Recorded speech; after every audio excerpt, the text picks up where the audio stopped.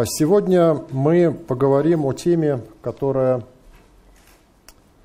а, является предметом для а, сотен статей, сотен книг, кандидатских и докторских диссертаций.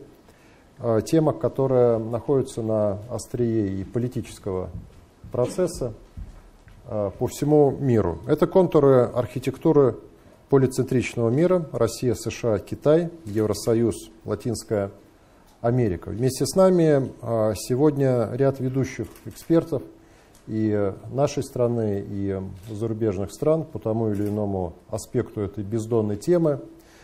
И, а, как вы видите, здесь а, выбрано пять э, субъектов или объектов нашего с вами сегодняшнего исследования – большинство из этих э, регионов э, неизбежно э, упоминаются почти во всех дискуссиях, которые сегодня на российских и международных площадках ведутся о том, какая модель международных отношений формируется или сформировалась в зависимости от взгляда на эту тему в международных отношениях какое место в этой новой э, архитектуре занимают э, наши страны или организации. Как вы видите, здесь э, пять достаточно разных по своей природе игроков.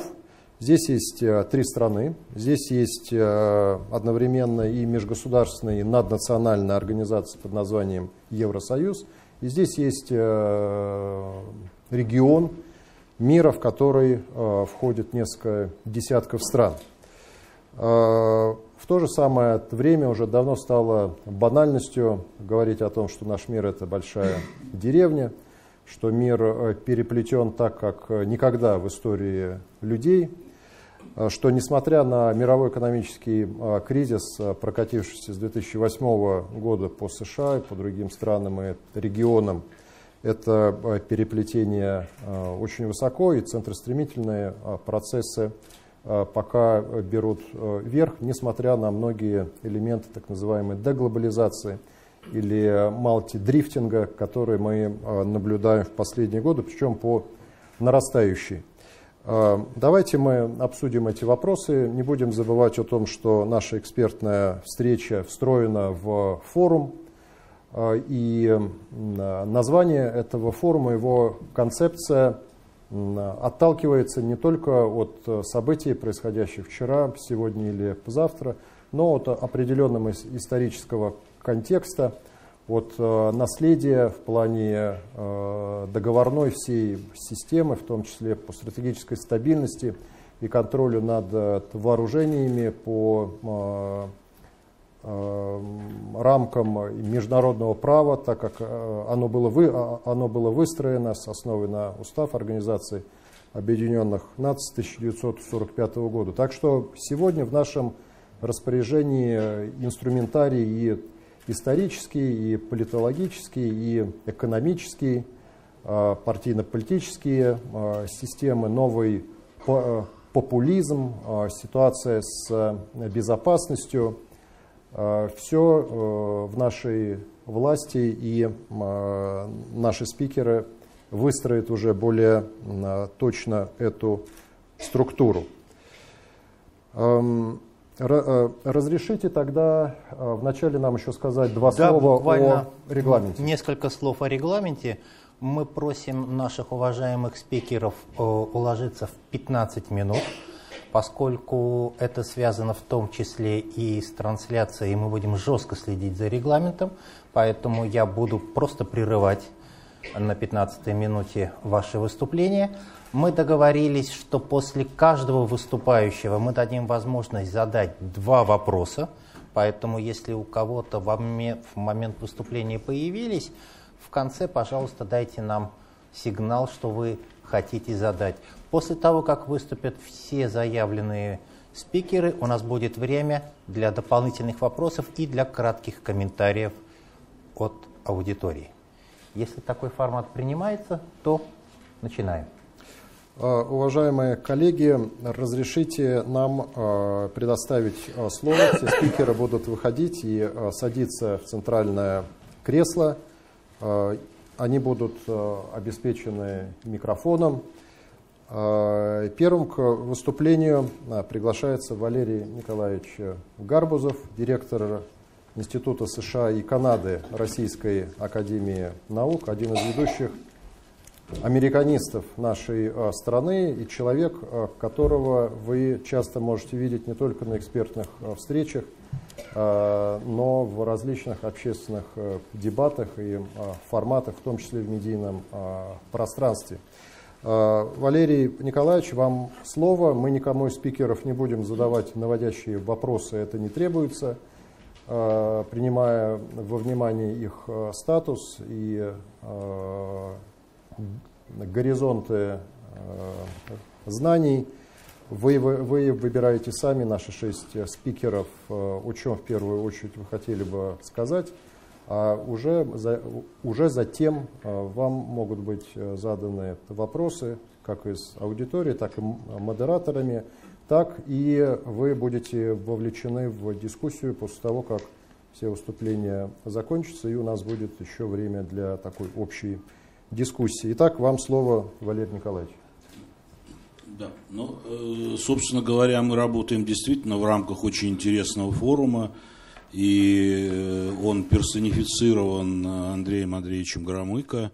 И, конечно, если от этого отталкиваться, то э, Громыко – это, конечно, целая эпоха. И не только по количеству лет, которые он пробыл во главе нашего Министерства иностранных дел – но и по количеству и масштабу тех событий, участником которых он был, и с его именем многое связано. Вообще говоря, американцы, я вот обычно это говорю, когда веду речь о президентах, но американцы любят мыслить категориями э, наследия того человека, который уходит. И наследие это не просто результаты деятельности, недостатки, итоги, а наследие – это то, что остается от человека и влияет на последующие поколения людей. Вот если в отношении Громыка это э, бросить вот такой ретроспективный взгляд, то, конечно, наследие его очень велико. И оно э, действует сегодня на ныне живущие поколения людей не только в нашей стране. Поэтому э, в этом плане, конечно, это Э, такая, ну, иногда говорят э, о человеке, он прожил несколько жизней или у него несколько карьер, я, наверное, сказал бы так, что это человек эпоха.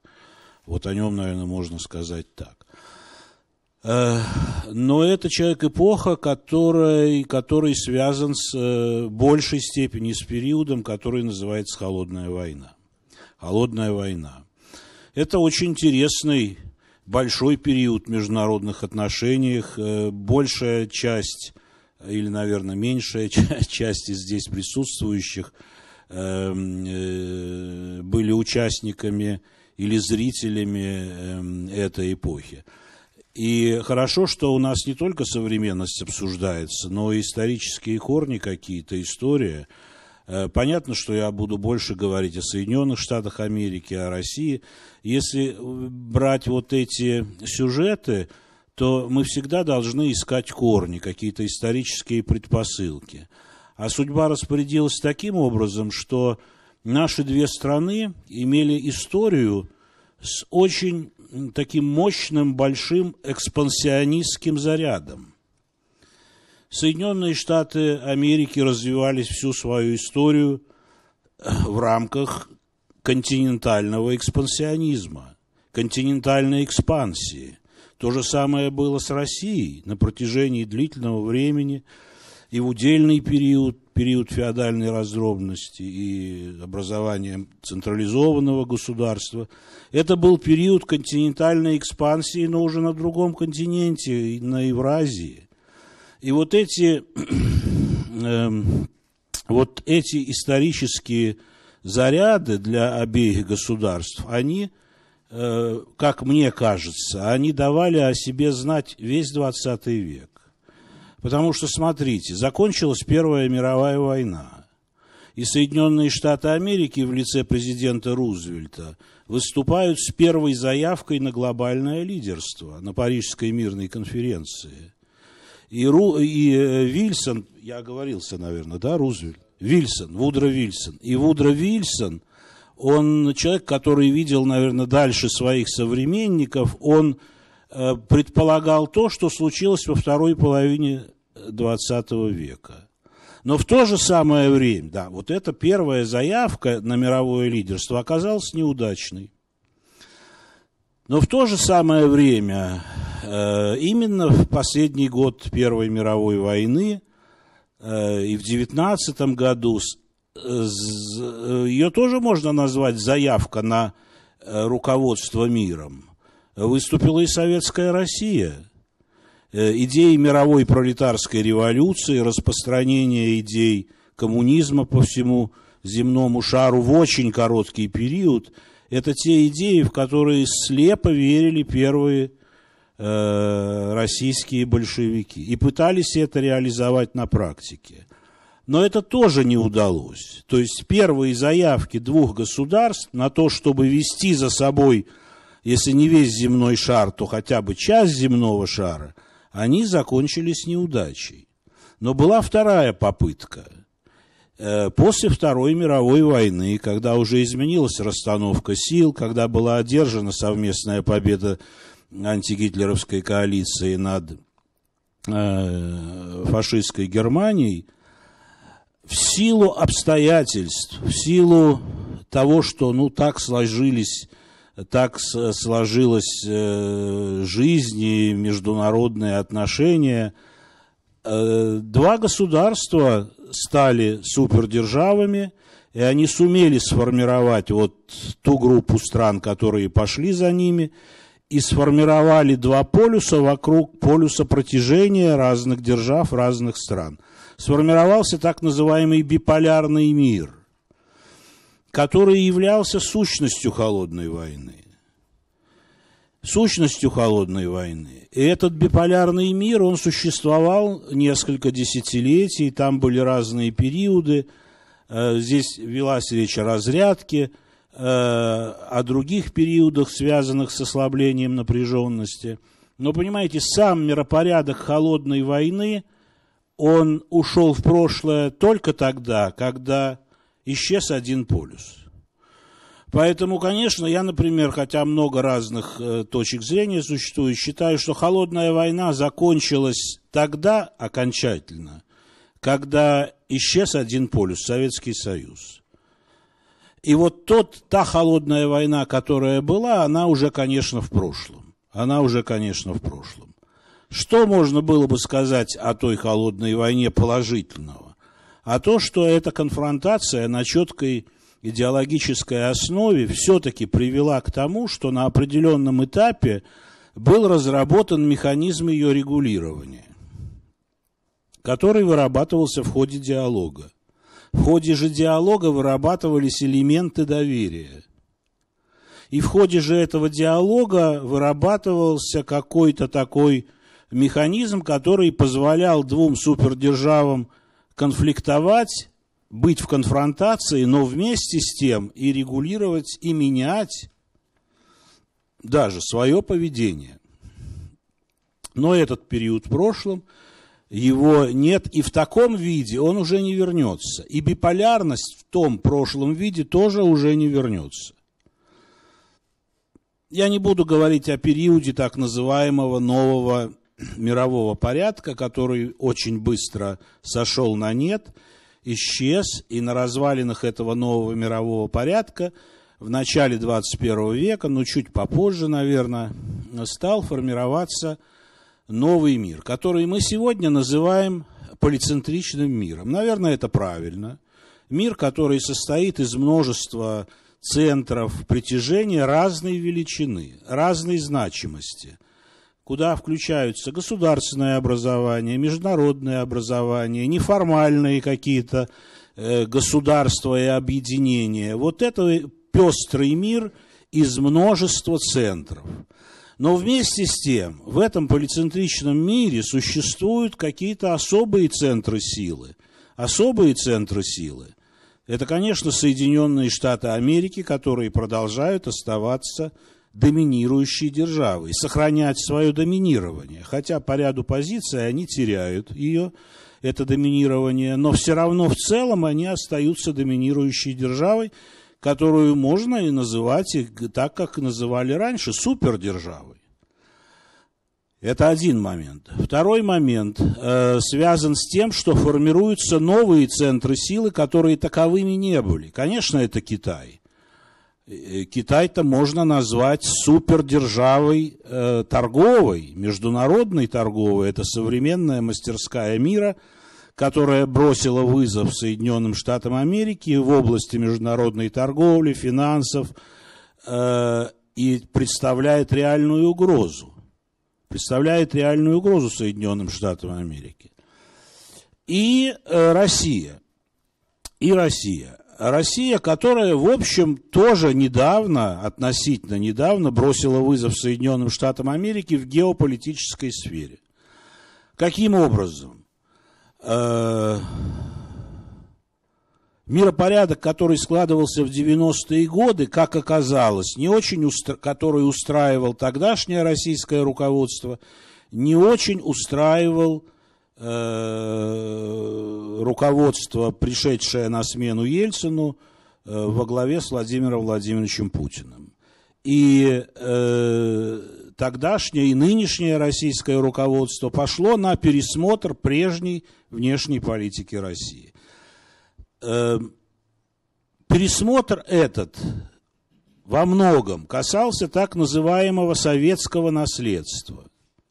Это не только бывшие советские республики и стремление сохранить и удержать какое-то влияние там, но и, конечно, и э, бывшие союзники Советского Союза.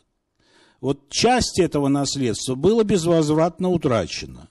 Стремление каким-то образом изменить ситуацию я далек от мысли говорить о том, что стремление вернуть их назад в орбиту своего влияния, но стремление каким-то образом изменить эту ситуацию, оно вызвало э, очень негативную реакцию.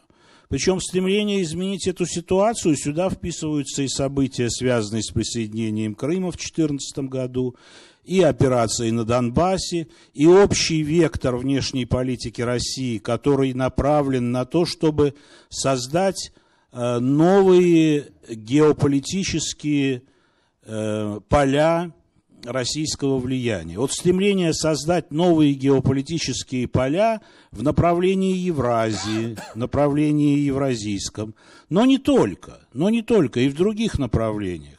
Все это вызвало крайне негативную реакцию, прежде всего Соединенных Штатов Америки, ну и Запада. И я вижу, что нынешний мир, он формируется таким образом. Вот в рамках этого полицентричного мира формируется, э, не, не формируется биполярность типа прежней холодной войны, а формируются другие типы биполярности – Э, э, американо-китайская. Эта биполярность основана сегодня, прежде всего, на конфронтации в сфере торговли. Как она может дальше развиваться? Э, это покажет будущее. Может она развиваться в конфронтационном плане и переноситься на другие области, а почему нет? На военно-политическую уже, в общем-то, есть зацепки, чтобы она перерастала на эту область. Особенность этой биполярности состоит в том, что она насыщена конфронтацией, но все-таки эта конфронтация регулируемая. Не во всех сферах. В военно-политической области она не регулируется, а вот в торговой, э, в общем, регулируется очень своеобразно. Торговые войны между США и Китаем – это своеобразный механизм регулирования этой конфронтации. Вторая биполярность – американо-российская. Особенность этой биполярности состоит в том, что эта биполярность распространилась благодаря санкционным спиралям на все сферы практически. И вторая особенность состоит в том, что эта биполярность по большому счету сегодня либо нерегулируемая, либо очень плохо регулируемая. И в этом ее опасность, потому что эта конфронтация не просто между двумя державами, а между двумя ядерными супердержавами. И перспективы э, развития мира, наверное, на будущее, хоть, может быть, это выглядит очень упрощенной картиной, но мне кажется, что это основные тенденции. Они э, во многом будут вращаться именно вокруг формирования этих двух конфронтационных биполярностей, э, но в рамках полицентричного мира. В рамках полицентричного мира. Ну, на этом я, наверное, и завершу свой разговор, поскольку я уже подошел к лимиту времени. Спасибо большое. Валерий Николаевич, э, спасибо. Э, вы сверхдисциплинированы, есть сверх, есть сверх Вы меня напугали. Или сверхдержавы были, а вы сверхдисциплинированы. Напугали, человек. что вы безжалостно остановите. Да-да, ну вы так напугали, что, что я подарили понял. нам около двух минут э, лишнего времени. Спасибо вам. Поднято, по-моему, много вопросов, которые более чем актуальны.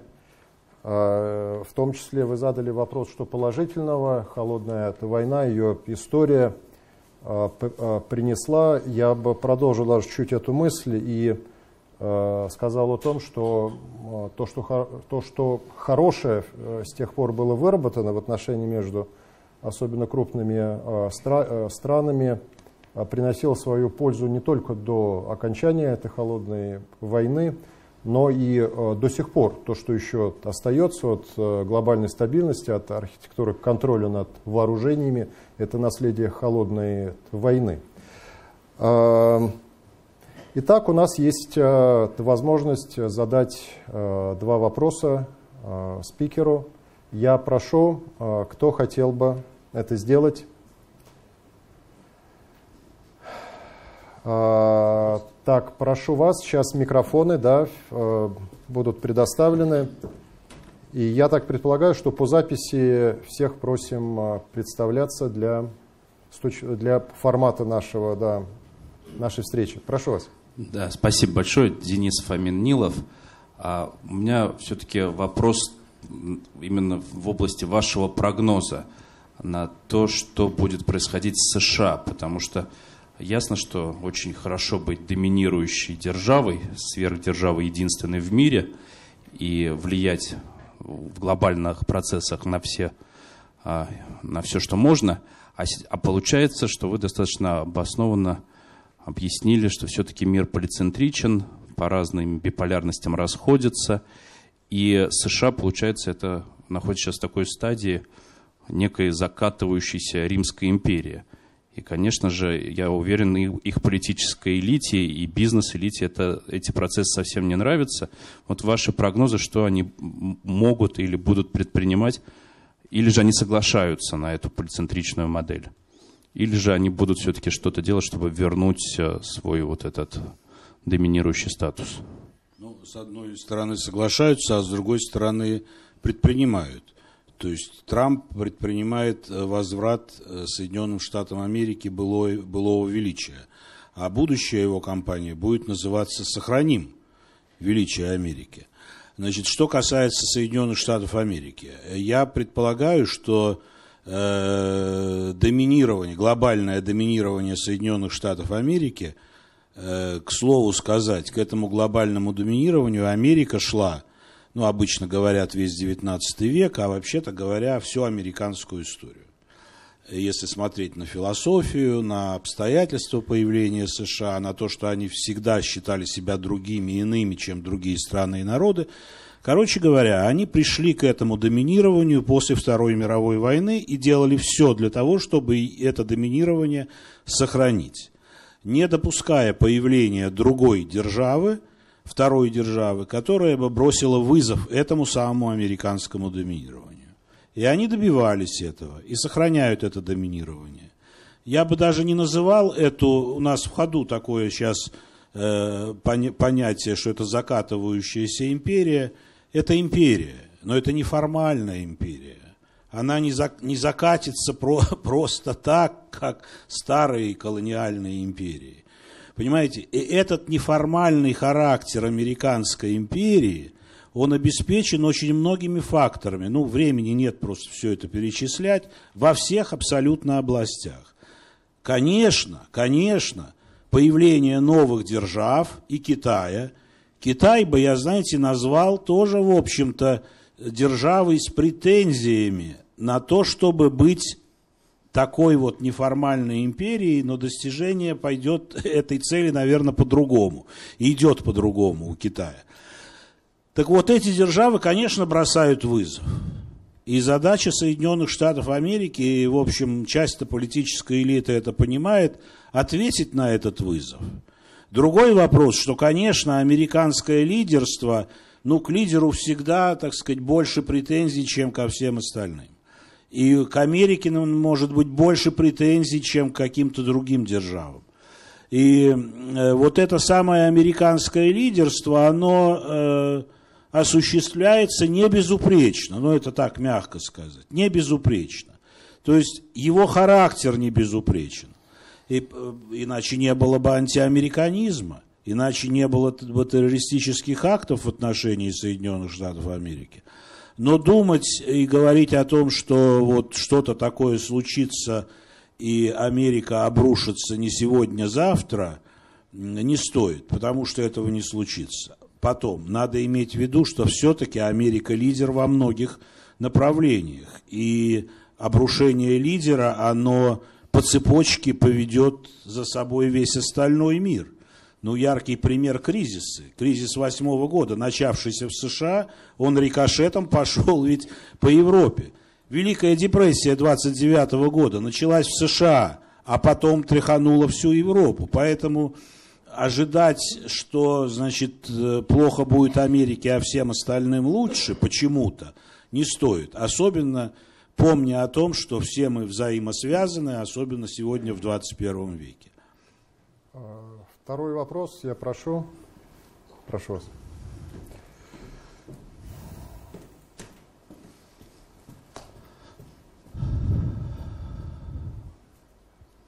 Василий Сакаев, Казанский федеральный университет. Валерий Николаевич, спасибо большое за такой прекрасный а, прогноз, который вы дали, да, развития событий. И вот в этой связи у меня возник вопрос. Вот там множественная биполярность, да, о которой вы говорили и обрисовали на примерах конфронтаций существующих.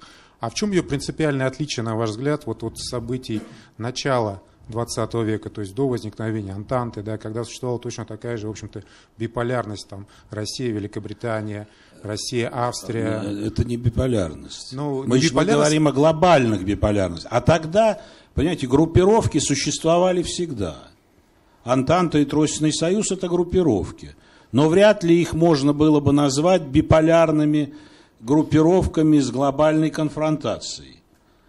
Э, ну, во-первых, масштаб мира тогда был другой, да, все-таки мир тогда воспринимался прежде всего Европа, вот это мир. А все остальное это как бы престижные части европейского континента. Поэтому, конечно, мы должны понимать, и просто это я не затрагиваю эту тему, мир, как оказывается, он не может жить без конфронтации. Мир не может жить без образования каких-то группировок, которые объединяют какие-то групповые интересы. Мир вообще не может жить без интересов и групповых интересов. Это реальность. А если есть групповые интересы, они разные, они наталкиваются, вот вам результат, конфронтация, которая может перерасти в войну, а может и не перерасти. А может развиваться вот так, как эта конфронтация развивалась в ходе холодной войны, ну, по известным причинам. Почему не было войны глобальной во время, почему холодная война не, заканчивалась, не закончилась глобальной войной. Поэтому, понимаете, конечно, мы должны думать о том, чтобы мир был бы совершеннее, он был бы более такой м, гармоничный, но вместе с тем не надо отрываться от земли. Э, дисгармония оставаться будет – и э, мы должны просто думать, э, вот как делать так, чтобы ослабить ее результаты. Хорошо. Не всегда это удается, и не всегда это будет удаваться. А, Валерий Николаевич, а, спасибо. Давайте мы поприветствуем вас аплодисментами.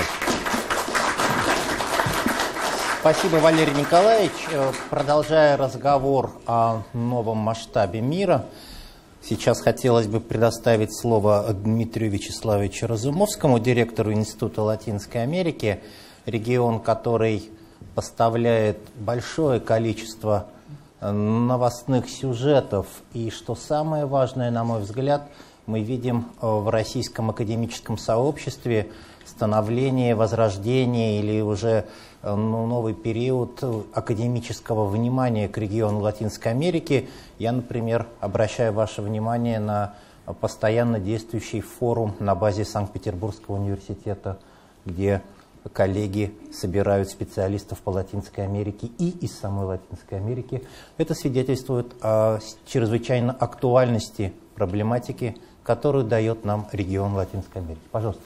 Да, э, спасибо, коллеги. Прежде всего хотел бы выразить благодарность Алексею Анатольевичу вам, вам, Михаил Иванович, и Казанскому федеральному университету за приглашение, за организацию этого мероприятия. Искренне желаю и надеюсь, да, что эта э, конференция она перерастет в какой-то регулярный формат э, такого федерального значения.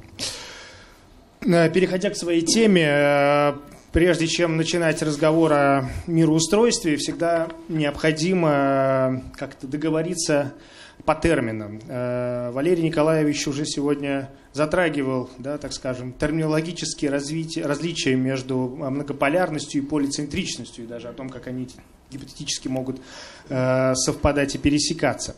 Но я как латиноамериканист хочу прояснить именно такую латиноамериканскую трактовку этих понятий.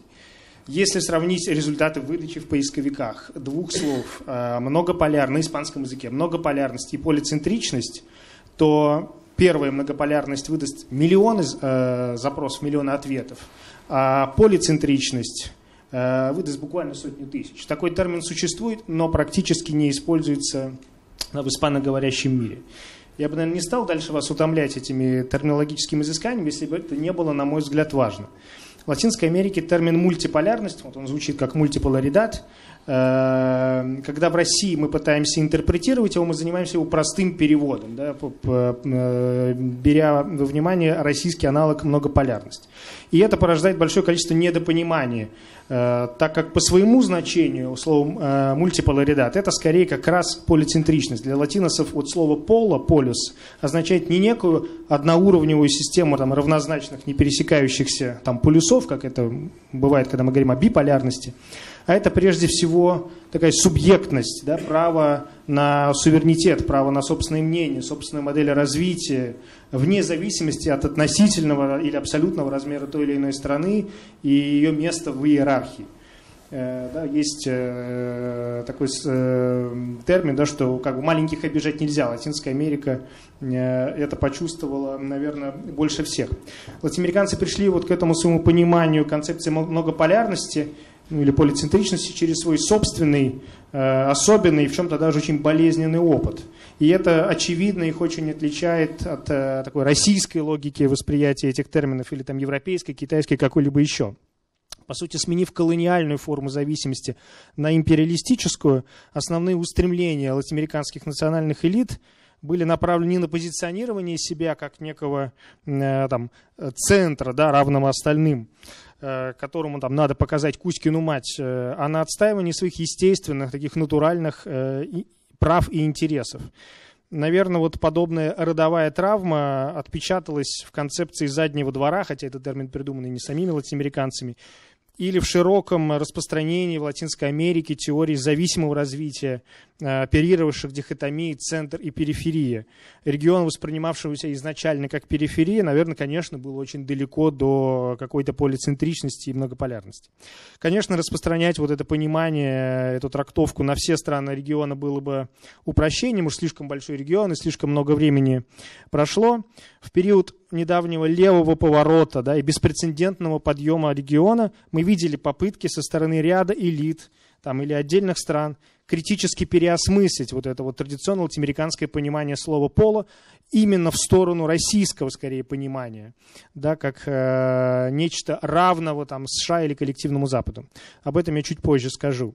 Вот этот сложный исторический опыт, на мой взгляд, лишил латиноамериканцев некого такого здорового цинизма в восприятии мирового устройства. Позиционируя себя как центры, хоть там и не полюса, на мировой арене, они выглядели зачастую как идеалисты, да, мечтавшие о том, что вот взявшись вместе за руки, они прогнут этот устаревший миропорядок, добившись какого-то уважения. Это было особенно свойственно левым. Э, левое единство, оно, оно вообще всегда более единое, чем э, правое, хотя зачастую недолговечно.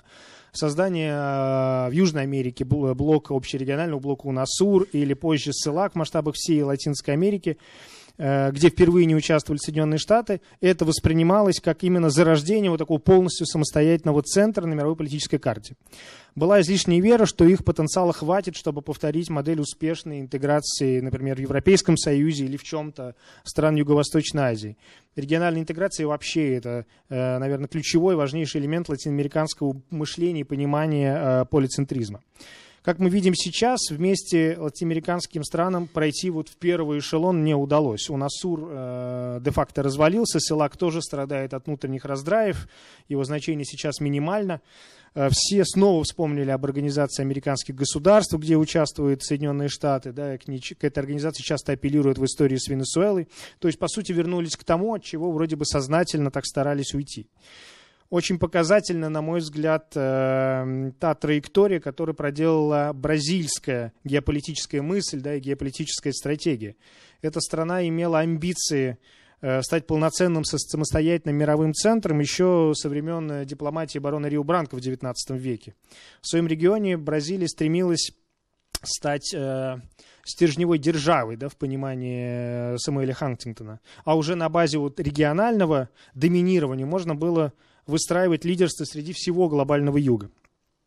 Отсюда усилия бразильцев по созданию различных альянсов с Африкой, с Азией, вообще с развивающимся миром.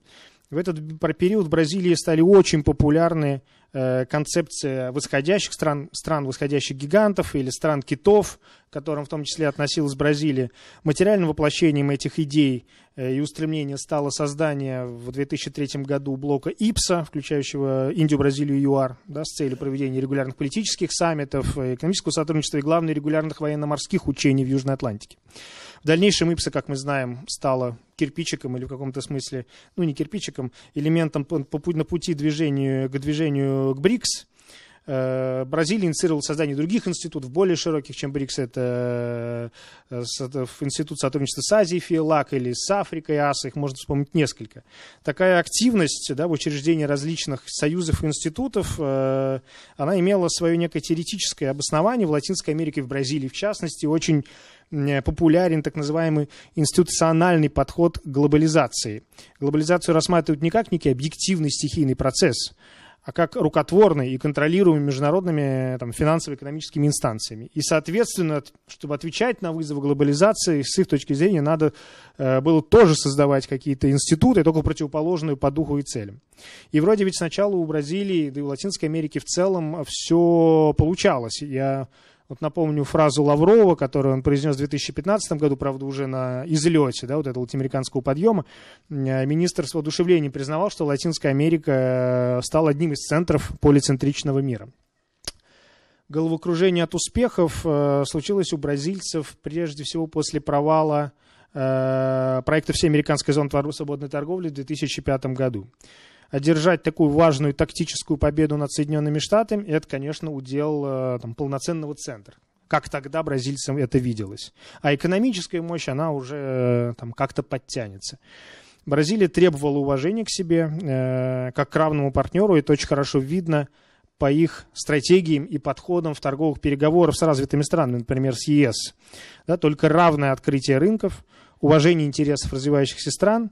Однако эти попытки, как мы сейчас видим, в общем-то привели к неудаче, к провалу. Запад не воспринимал Бразилию как равного партнера. Да, ЕС э, никогда не готовилась э, к какому-то эквивалентному открытию рынков в рамках переговоров с Меркосур. И Бразилия, напоминавшая такого Дон Кихота, отстаивая идеи равной торговли для всех, э, в итоге осталась ни с чем. Страны избравшие иной путь, да, может быть, более прагматичный и циничный, как Чили, Колумбия там, или Перу, э, которые не пытались изменить мир к лучшему во имя добра и справедливости, они в итоге достигли большего. Я не могу ничего не сказать, э, не сказать ничего про БРИКС. Это, наверное, квинтэссенции э, многополярности, полицентричности. Э, вышеописанный вот такой подход или мышление Бразилии очень четко проявлялось в тех приоритетах, которые эта страна ставила во время своего председательства в организации в 2010 и 2014 годах. Это фундаментальные вопросы изменения глобального регулирования, снижение роли Соединенных Штатов, повышение влияния развивающихся стран, вопросы безопасности в таком не знаю, макропонимании. Да, Бразилию всегда волновала проблема безопасности в Южной Атлантике и своего суверенитета над Амазонией. И БРИКС был важнейшим инструментом, безусловно, в борьбе за право, за, за место постоянного члена в Совете Безопасности ООН. Сейчас мы видим, что было очень много иллюзий, такой переоценки своих сил и своего потенциала. Не стоило этим американцам воспринимать себя там, равными центрами.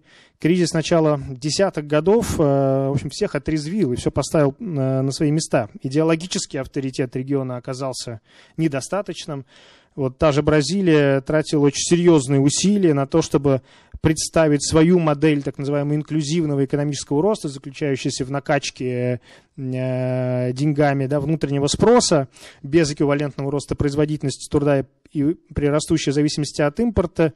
Э, в общем, эта модель показала свою несостоятельность, да, и э, кризис 2013 года, и коррупционные скандалы, в общем, все четко показал, кто тут претендует на лидерство.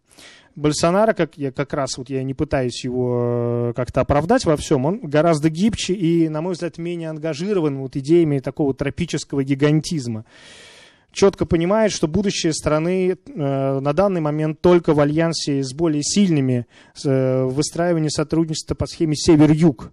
А луловский юг-юг и Больсонар воспринимается как такое пустое расходование средств на претензии на глобальное лидерство. Ну и на самом, ну о каком самостоятельном полисе можно говорить, когда, в общем, в основных странах региона экономический спад, плюс какая-то неконтролируемая смена элит, э, то есть нет никакой политической предсказуемости, стабильности, там Бразилия или Венесуэла, это, конечно, там не, не знаю, не Англия, не Евросоюз, не Китай. Может быть, в каком-то смысле хорошо, что такой полюс у нас и не появился. Что мы видим сейчас? Да? Мы видим заявление Больсонара, которое он сделал на саммите G20 э, в Осаке, где в ответ на вопрос о э, дальнейшей судьбе Венесуэлы и урегулировании конфликта он, в общем, так дистанцировался, заявив, что это вопрос, который будут решать ядерные державы, а Бразилия здесь как бы ни при чем. Мы видим в Мексике э, воскрешение доктрины Истрада начала 20 века, а, по сути такой политики, ну это формально политика автоматического признания, э, но по сути это политика невмешательства да, в в условиях растущей поляризации региона, это в каком-то степени некий, наверное, изоляционизм.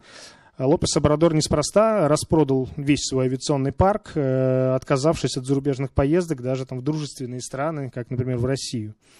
Бразилия в рамках председательства БРИКС в этом году э, ставит уже совсем другие приоритеты да, узкопрагматичные, деполитизированные задачи там, инновационного развития, создания банка, э, банка развития, БРИКС, э, там, цифровой безопасности. Ни слова уже о перераспределении полномочий между э, центром, Западом и развивающимися странами. Да, никто уже не говорит Западу «подвиньтесь». Я вот хочу вспомнить известное высказывание коллеги Андрея Андреевича Громыка век назад, за век до этого, да, а, Александра Горчакова о том, что вот Россия сосредотачивается. Его, наверное, творчески перефразировать, похоже, что Латинская Америка сосредотачивается. Она отказывается от амбициозной политики объединения под своим э, крылом глобального юга, она трезво оценивает свою, свою неравность э, э, странам центра, и что стоит за этим выжиданием? Э, ну, может быть, некое смиренное осознание э, своего места, да, и отход в сторону. А может быть, это желание затаиться, поднакопить силы перед каким-то будущим прыжком жизнь покажет. Я вот, чтобы закончить, хотел бы э, высказать несколько таких общих мыслей, общих мыслей по поводу полицентризма и многополярности, которые я вот сделал из, из сопоставления латиноамериканских и российских подходов. Первое. Э, мне кажется, в реальности, на первый взгляд, порой выходят э, уже странные, что называется, второго эшелона, да, несопоставимые по экономической мощи со странами центра. Это вот сейчас Турция, которая там, играет колоссальную роль, например, в Латинской Америке, Иран, э, там, Южная Корея, в Латинской Америке, там, в середине века это была Куба. Сейчас, наверное, невольно Венесуэла. Их выход на первый план может быть э, там, временным, краткосрочным, даже в каком-то смысле случайным. Э, это не какие-то стабильные во времени там, монументальные конструкции, как, например, биполярность. Да? И вообще полицентричность, она, как правильно отмечал Валерий Николаевич, она уже такая многоуровневая и мультииерархичная. Э, мне кажется, что Россия, как и Бразилия, она вот переживает некое переосмысление своего места в этом новом миропорядке.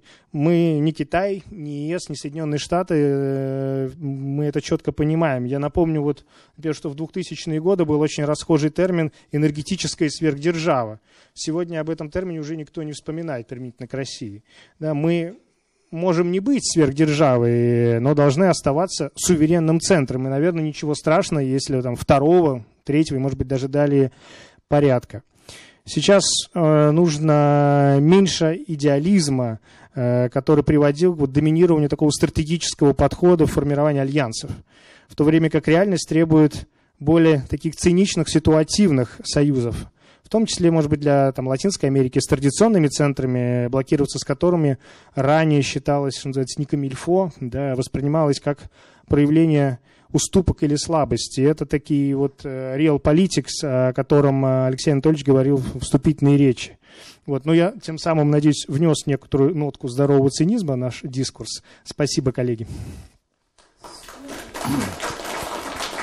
Спасибо, Дмитрий Вячеславович признателен вам за то, что вы привнесли лингвистический аспект в осмысление международных отношений, чем всегда славилась советская дипломати... и отечественная дипломатическая школа внимательным уважительным отношением к разным языкам.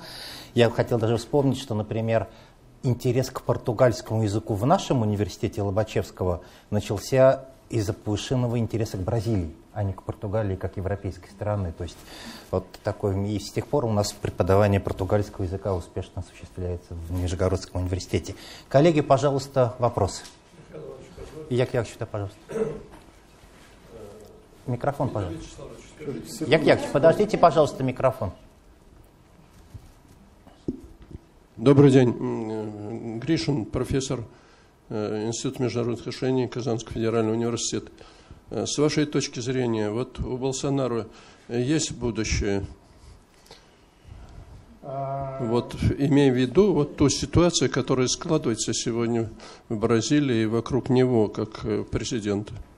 Мы спасибо. Видим, да, спасибо за вопрос. Мы видим у Больсонара способность эволюционировать да, как, как политик.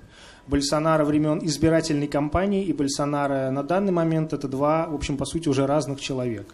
Э, да, та повестка, с которой он пришел э, во время выборов, да, по сути, такая очень Э, в чем-то провокационное, э, оперирующее совершенно к другому дискурсу, нежели э, к тому, который существовал до этого в рамках там, левого поворота. Да, он оперировал скорее уже не к вопросам там, социальной справедливости, а к вопросам например, консервативных ценностей, да, вопрос там, традиционных семейных ценностей. В этом плане, наверное, он очень в чем-то даже пересекается с нашим президентом. Понятно, что в реальной политике управления государством он оказался уже вторичен. Э, на Больсонара сильное влияние оказывает его окружение, и мы видим очень много примеров того, как окружение осекает своего президента. Он делал несколько заявлений о том, что Бразилия может стать э, э, страной, где будет размещена военная база Соединенных Штатов, тут же получил жесткую отповедь от своего генералитета. Да, Больсонaro выступал о возможности участия Бразилии в какой-то там форме военной кампании в Венесуэле, тут же также получил в общем, жесткую отповедь со стороны генералитета. Э, вся гневная риторика Больсонара в отношении Китая, э, да, о том, что там, Китай покупает Бразилию, э, она уже забыта сейчас. Вот, как я отмечал, например, Больсонар очень заинтересован в выстраивании отношений с Банком развития БРИКС, который там, наполовину финансируется Китаем. Поэтому вот эта его способность эволюционировать и меняться, она указана на то, что ну, хотя бы свой первый президентский срок он э, сможет усидеть, что в Латинской Америке сейчас тоже уже, в общем, редкость. Спасибо. Второй вопрос. Межевич, э, Дмитрий Вячеславович, есть э, экономическая теория периферийного капитализма, и э, она родилась в Латинской Америке, она изучается, она, так сказать, проверяется на практике, но вопрос вот какой. Считаете ли вы возможным применить эту теоретическую модель, частично подтвержденную на сегодняшний день, в других регионах? Ну, например, не кажется ли вам, уже переходя для вас не основному объекту исследования, не кажется ли вам, что некоторые элементы этой теории э, применимые для Европы, где какие-то части развиваются в модели э, периферийности по отношению к центру, только они сухопутно, так сказать, связаны. Спасибо. Спасибо за вопрос. Ну, э, во-первых, да, Рауль Пребиш считается отцом-основателем теории э, периферийного капитализма, но, конечно, не он автор, естественно, вот этой дихотомии центр-периферии. Понятно, что это, наверное, некая объективная реальность, которая существует в большом количестве каких-то теоретических конструкций э, и много где реализуется. Я бы хотел отметить, что э, в нашем таком российском, в советском понимании периферийный капитализм, ключевой его элемент был импортозамещение, импортозамещающая индустриализация. И именно в этом контексте у нас как-то ее обычно и воспринимают, и часто там даже вот э, они вспоминали, говоря о импортозамещении после 2014 года в России. Но тем не менее, если мы изучим э, там, э, динамику, эволюцию взглядов самого Рауля Пребиша к, к порожденной им концепции, мы увидим, что она очень, она очень сильно изменилась. И, э, по-моему, у Фрэнсиса Фукуяма в конце истории эта концепция периферийного капитализма жестко критикуется, и в качестве э, альтернативы предлагается теория, ну не теория, а концепция экспортно ориентированного развития, которая была реализована в, в э, азиатских тиграх да, одновременно с э, импортозамещением в Латинской Америке. И Пребиш не мог игнорировать успехи азиатских стран, и на самом деле уже ближе к концу там, своей жизни он э, отстаивал идею именно необходимости экспорта, ориентированной индустриализации в Латинской Америке. Но, э, к сожалению, там эту модель там, в, в том виде, в каком это было в Азии, э, провести не удалось. Поэтому сама идея центра периферии, она будет жива всегда, ну, потому что э, экономическая активность никогда не будет равномерно распределена э, там, в пространстве. Да? Но именно сама, так скажем, методологическая база, да, механизмы объяснения возникновения этих различий, они, скорее всего, все-таки уже устарели, потому что сейчас, конечно, эта теория, она скорее удел таких левых экономистов, э, которых, к сожалению, зачастую воспринимают уже как маргинальных. Спасибо. Спасибо. Спасибо, Дмитрий Вячеславович. Мы продолжаем работу. А, уважаемые а, коллеги, у нас а, мы задаем по два вопроса, но ясно, что могут быть еще масса нюансов или пунктов, по которым интересно было бы чуть позже подискутировать, в том числе по тезису нашего спикера, что Россия вполне может оказаться во втором или третьем э, эшелоне стран мира, и, в общем, это надо воспринимать э, спокойно. Я думаю, что если мы окажемся там, лучше воспринимать спокойно, чтобы не нервничать чересчур. Но, но до того, как это произойдет, я думаю, что мы попытаемся сделать так, чтобы Россия в 21 веке была все-таки в первом эшелоне Э, полтергейст э, в первом э, эшелоне стран, и это интересная очень тоже вещь, потому что риски очень большие, но мне кажется, что психологически надо нашей стране настраиваться все, все-таки на удержание своих позиций. Мне очень приятно предоставить слово и пригласить на сцену нашего следующего спикера. Это Марк Львович Энтин, профессор МГИМО, председатель правления Ассоциации европейских э, э, исследований и в недалеком прошлом посол России в Люксембурге. Марк Львович, я прошу вас на сцену.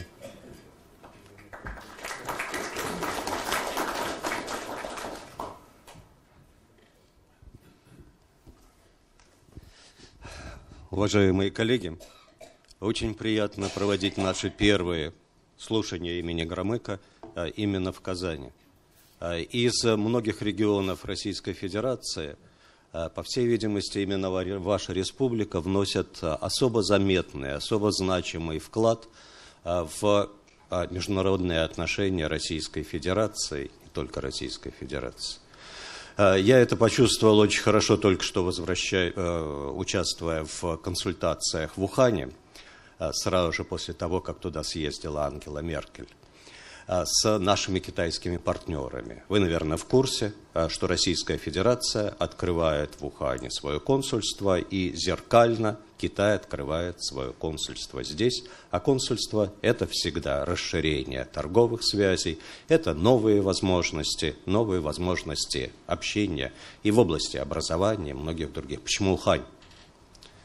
А, туда обязательно надо съездить для того, чтобы понять, насколько наша история переплетена. 1938 год, Квантунская армия движется для того, чтобы захватить центральный Китай. Дальше прямая линия на подбрюшие э, Советского Союза России. Мы перебрасываем туда полк, авиационный полк, всю необходимую базу снабжения, э, создаем инфраструктуру, захватываем господство в воздухе и останавливаем Квантунскую армию на подступах к центральному Китаю. В центральном парке Ухань небольшая галерея памяти. Там похоронены наши штурманы, наши пилоты. Это ребята, смотришь, годы жизни 24-25 лет, 24-25 лет, 24-25 лет. И выступая в Уханьском университете, встречаясь с коллегами, я после этого получал звонки и письма от студентов, э, от аспирантов, от э, преподавателей, которые писали, наши деды нам рассказывали о том, как мы были вместе, и как хорошо, что мы сейчас вместе снова. А вот эта вот страничка в истории, она очень весома и о многом говорит.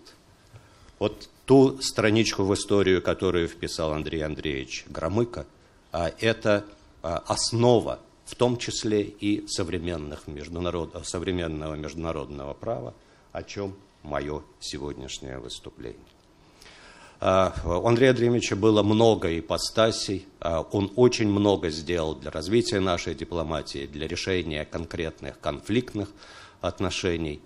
А, его заслуга также и в том, что мы живем сейчас по-прежнему по уставу Организации Объединенных Наций, и на весь миропорядок и все, что говорится по этому поводу, нужно, конечно, смотреть также и через призму устава ООН.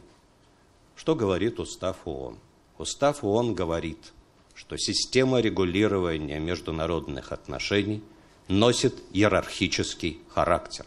Статья 103 Устава устанавливает, никакие действия государств, никакие многосторонние и двусторонние договоры не должны противоречить Уставу, если это так, они могут быть объявлены недействительными и ничтожными, или ничтожными, то есть не имеющими правовых последствий с самого начала.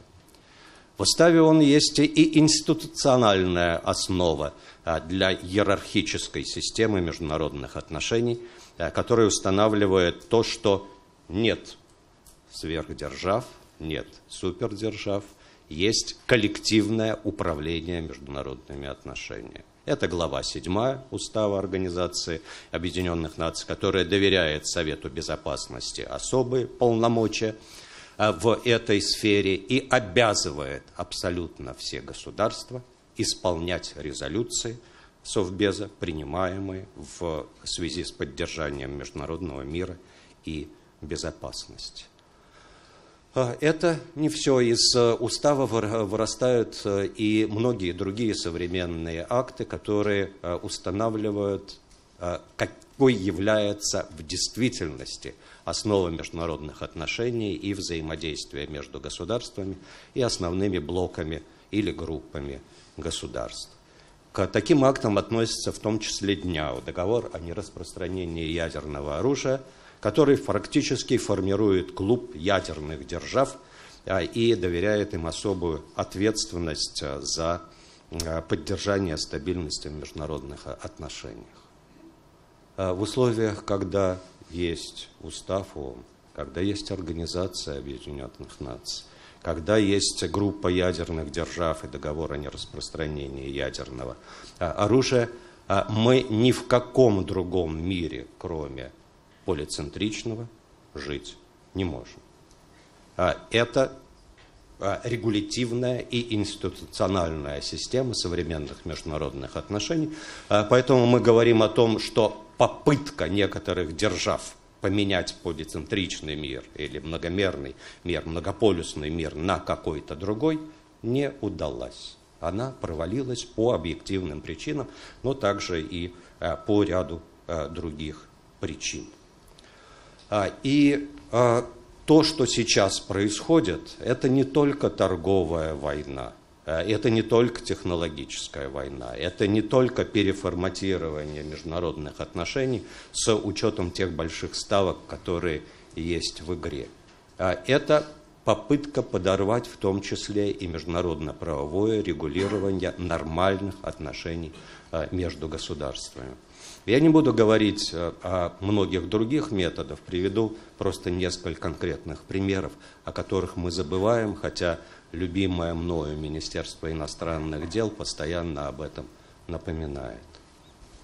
Соединенные Штаты выходят из пакета по иранской ядерной программе. Соединенные Штаты имели бы полное право выходить из любого договора, хотя с многосторонним договором есть определенный нюанс, поскольку вступаешь в договор а, и принимаешь свое суверенное решение, пересмотрел, ты выходишь из договора. Но, договор, но пакет по Ирану был оформлен резолюцией Совета Безопасности Организации Объединенных Наций в рамках главы 7 а, Устава ООН, что означает, что все государства – как бы они ни думали, что они не хотели, обязаны следовать предписаниям этого пакета. Выходя из э, сделки, Соединенные Штаты э, не столько э, провоцируют развитие ситуации в Персидском заливе или где-то еще, сколько наносят целенаправленный удар по устоям современного правопорядка и международных отношений. А когда мы говорим о минских договоренностях, мы забываем о том, что минские договоренности – это не только минские договоренности, это не только договоренности тех, а, кто а, поставил свои подписи. Они были оформлены резолюцией Совбеза. То, что они не выполняются – нарушение. У нас есть ситуация с Косово, у нас есть Балканы. Ситуация там описывается резолюцией 1244 и всем тем, что там говорится то, что происходит, да, суверенные государства могут договариваться, а, может оказываться любое давление, и, естественно, через какое-то время решение будет найдено в интересах тех или других. Но это чисто ситуативно. То, что важно, а, это то, что развитие событий нарушает обязанности всех государств по а, уставу Организации Объединенных Наций. Поэтому, когда мы говорим о БРИКС, когда мы говорим о российско-китайских отношениях, когда мы говорим об инициативе э, российского руководства о формировании всеобъемлющего большого евразийского пространства, мы настаиваем также, это очень хорошо звучит во всех выступлениях, хотя и к России могут быть предъявлены многие претензии, настаиваем на том, чтобы мы чтили международное право и отстаивали международное право. Потому что международное право – это стабильность. Потому что международное право – это предсказуемость. Потому что без международного права действительно мир погрузится в хаос. А что нужно предпринимать для того, чтобы не произошло? Я приглашаю всех принять участие в специальной секции, которая будет посвящена этим вопросам. Третья панель нашей конференции. Милости просим. Спасибо. А, Марк Львович, а, большое спасибо, а, в том числе за популяризацию сессии, на которой, которую вы будете модерировать. Опять затронуты вопросы, которые проходили достаточно красной нитью выступления других докладчиков. Обращаю внимание на то, что ни одно из выступлений не обходится без слова «Китай», и это показательно. Вы знаете, насколько сейчас много ломается а, копий а, дискуссионных по поводу очень популярной концепции получивший название уже в отношении Китая и его, его взаимодействие с Соединенными Штатами названием ловушки Фукидида. Мы здесь в Евроазии обсуждаем очень много влияния концепции «один пояс» и «один путь» на э, десятки стран, уже пояс и путь. Напомню о том, что по плану от Маршала в Европу с 1948 по 1951 год было вложено в нынешних ценах порядка 115 миллиардов э, долларов. А Китай уже считается вложил в пояс и путь порядка 90 миллиардов, э, сравнимые цены.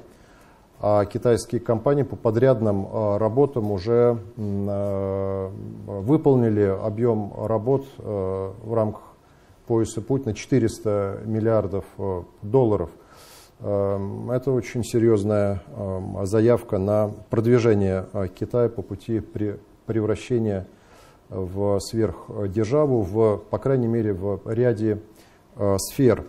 Итак, два вопроса. Прошу вас, коллеги. Первый ряд, прошу вас, микрофон.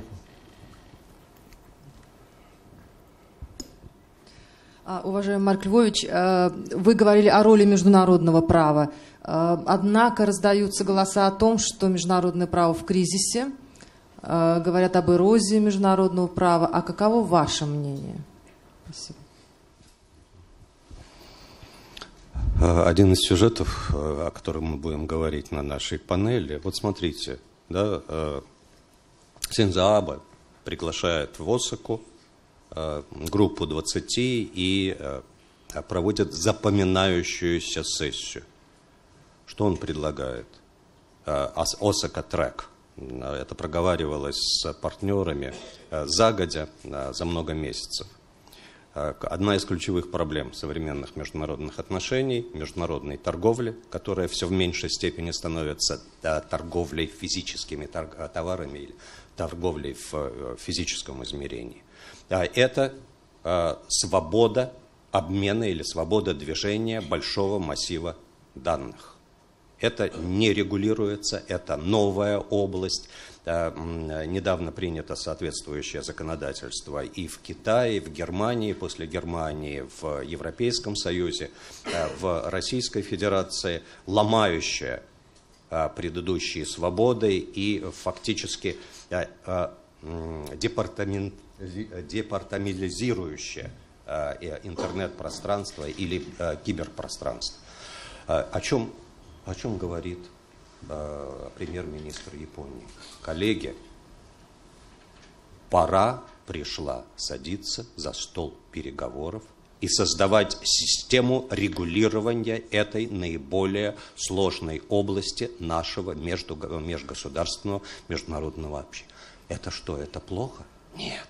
Это показывает, что без международного права ничего не получится, ничего не будет. Это говорит о том, что все игроки, Соединенные Штаты э, со всеми заключают необходимые соглашения или ведут переговоры о соответствующих соглашениях. А это говорит о том, а, что понимание необходимости международного права, оно присутствует. Каждое государство, допуская любые нарушения международного права, говорит, что это во имя международного права, на самом деле оно применяет а, международное право. Есть кризис не международного права, есть кризис а, правоприменения а, и есть кризис волюнтаризма. С одной стороны, и вполне законная и естественная тенденция экспансии нормативного порядка, который есть у вас. Вот никакой Евразийский экономический союз не будет по-настоящему построен, если у нас не будет сильное внутреннее право, которое мы могли бы предложить в качестве права для других участников этого союза. То же самое касается и э, Большой Евразии. Это нормально, это естественно, но только в одном случае, если оно не противоречит международному праву. А как решить, э, противоречит оно, не противоречит? то регулирование, которое предлагается, должно быть лучше, должно быть качественнее, должно быть более выгодно а, для субъектов международного права. А, большое спасибо. Тогда э, было два вопроса. Один. А, второй вопрос, только просьба, а, время летит. А, коротко вопрос и, и буквально две минуты спикерам на ответ, начиная с этого ответа. Марк Львович, спасибо вам огромное за прекрасное выступление.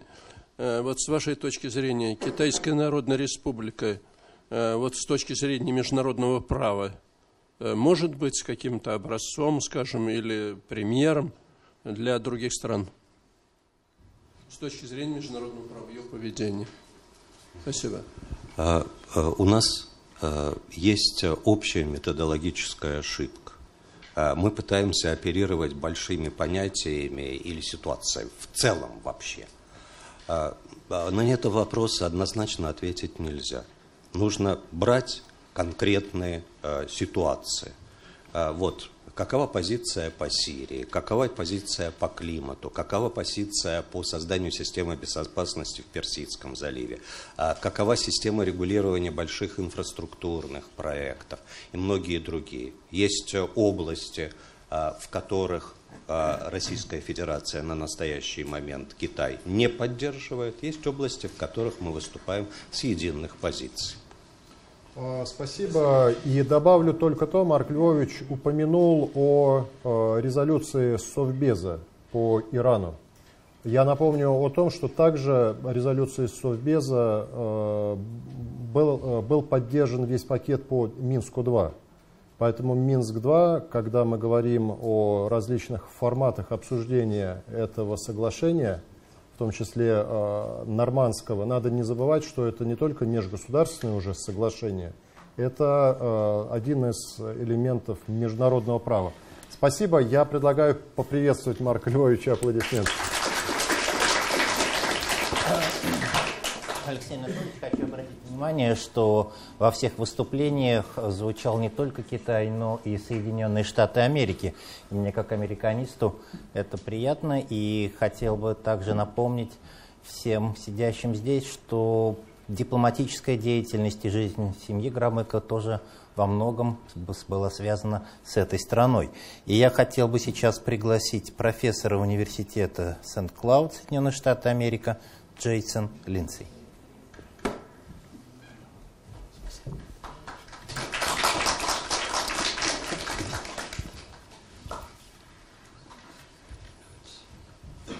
Э, Извините, если я говорю по-английски. Это трудно выступать по-русски о моем теме. Um, I wanted to contribute to the forum, uh, from my perspective, some information where we can start thinking about the domestic politics of the U.S. and how they're influencing the foreign policy position of the U.S. now. And I thought that was something I could share with my colleagues, uh, maybe give you some perspective that we're having inside the U.S. about what's going on. And to start with, uh, many of you are aware when President Trump won the election, it was a big surprise in the United States. Professional polling, uh, surveys by political scientists had predicted that Hillary Clinton would win. So after the election, we had many articles, many books, uh, dissertations are starting to appear about popular support for President Trump. So who in the popular uh, you know, vote, who, who is a Trump voter? But what we haven't had as much in the U.S. is a detailed look at are there elites or who are the elites supporting President Trump's administration? And that's a different question. And the best place, I think, to start looking for that evidence is in foreign policy. Is there an actual view for U.S. foreign policy that's aligned with President Trump's administration? When he first came into office, I think there was a perception that he was bringing in a new foreign policy. And unfortunately, uh, uh, policy towards Russia was pulled into this. And many people said, oh, one of the key differences here is that the Trump administration foreign policy will de emphasize traditional security, is less interested in traditional alliances like NATO, wants to reevaluate the relationship with Russia, and instead is taking this very hard line in trade policy with China. But ironically, three years later, when we look back now, what has been accomplished? And what seems to be the case is that, as far as foreign policy, a lot of what the administration says sounds a lot like what it says about domestic policies. the claim is there's going to be a, a new approach that cuts through bureaucracy, that ignores red tape, that gets things done in a more aggressive way. Uh, but the reality seems to be that there's not much content there. Uh, aside from these somewhat unprofessional and unpredictable sort of uh, slogans and themes coming out of the administration. And this is a paradox in a way because many of our international partners, when they first saw the Trump administration arrive, thought here is an opportunity to either advance our interest or create a new situation in relations between countries. But instead, I think the irony is actually relations haven't been particularly improved with anyone uh, substantially, in part because there is this unpredictability and this unprofessionalism from the administration. So, in the U.S. now, many of us in political science, when we think about the Trump administration and when we think about what it represents, uh, we've started turning to a kind of different model in American uh, political science. And that is that perhaps the best way to think of President Trump is perhaps he's the first successful third party candidate in the U.S. to reach the presidency. Although he says he's a member of the Republican Party and he won the Republican nomination, in many ways, President Trump resembles classic third party candidates from U.S. history. We've had several uh, examples historically of candidates from neither the Democratic nor Republican Party winning office, but usually at the state level as governors or state representatives and in many ways, President Trump fits this model. Third party candidates in the U.S. usually did well when the candidate was famous, when the candidate had their own source of revenue to spend on their election campaign. And thirdly, if the other candidate was caught up in some sort of scandal or perception of scandal. Uh, my home state now of Minnesota is famous for having one of these independent governors. We had a third party candidate be uh, governor of the state in the early 2000s, and he was famous within the state. He had his own fortune to spend, and there had been a big scandal among the main party candidates. If you look at past uh, attempts to win the presidency by third party candidates, the best example was when uh, President Theodore Roosevelt, after he left office, came out of retirement, attempted to run as a third party candidate, and had the best showing uh, historically in the Electoral College. So if we start to think of President Trump that way, then in many ways he looks like one of these third party candidates. When we look at what they've done at the state level, if you go back historically, third party candidates for governor, after winning their elections, typically promised major change in policy, major reorientation in what was going to happen in the state. And what did they deliver? Usually not as much. And interestingly, most third party candidates for governor, all the ones I could find uh, to give examples of in the paper, only served one term.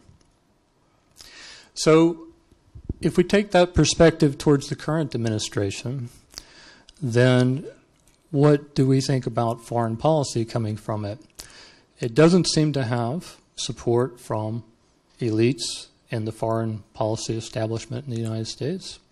It doesn't clearly doesn't have support internally within the bureaucracy.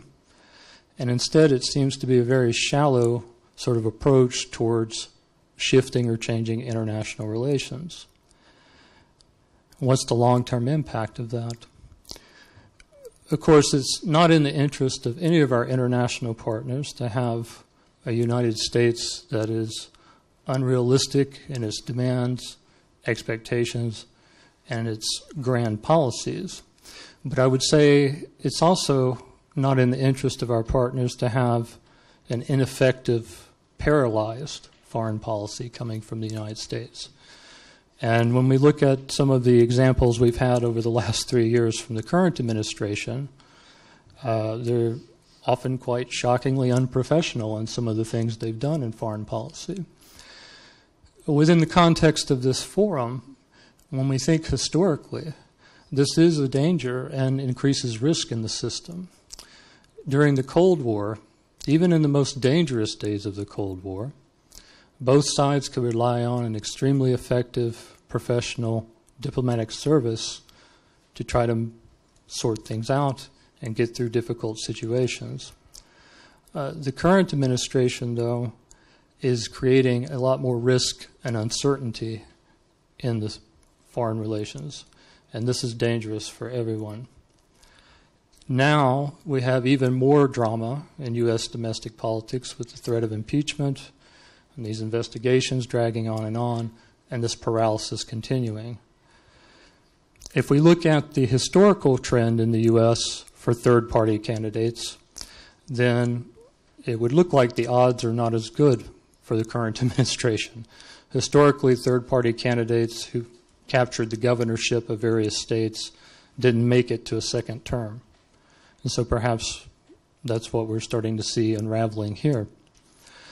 On the other hand, if I'm wrong, and President Trump successfully defies the odds again and conducts a good campaign and wins another term, then we face an even longer period of paralysis in U.S. foreign affairs. And this is a great risk. And it is unfortunate because if we look back historically, both the U.S., Russia, other allies historically had very effective mechanisms for trying to deal with significant, very significant policy differences in the international system. And so having a, a U.S. that is more internally focused, more self absorbed in its domestic politics, I think is a great risk rather than a great opportunity for our strategic partners. Спасибо. Спасибо за взгляд на американскую внутреннюю политику.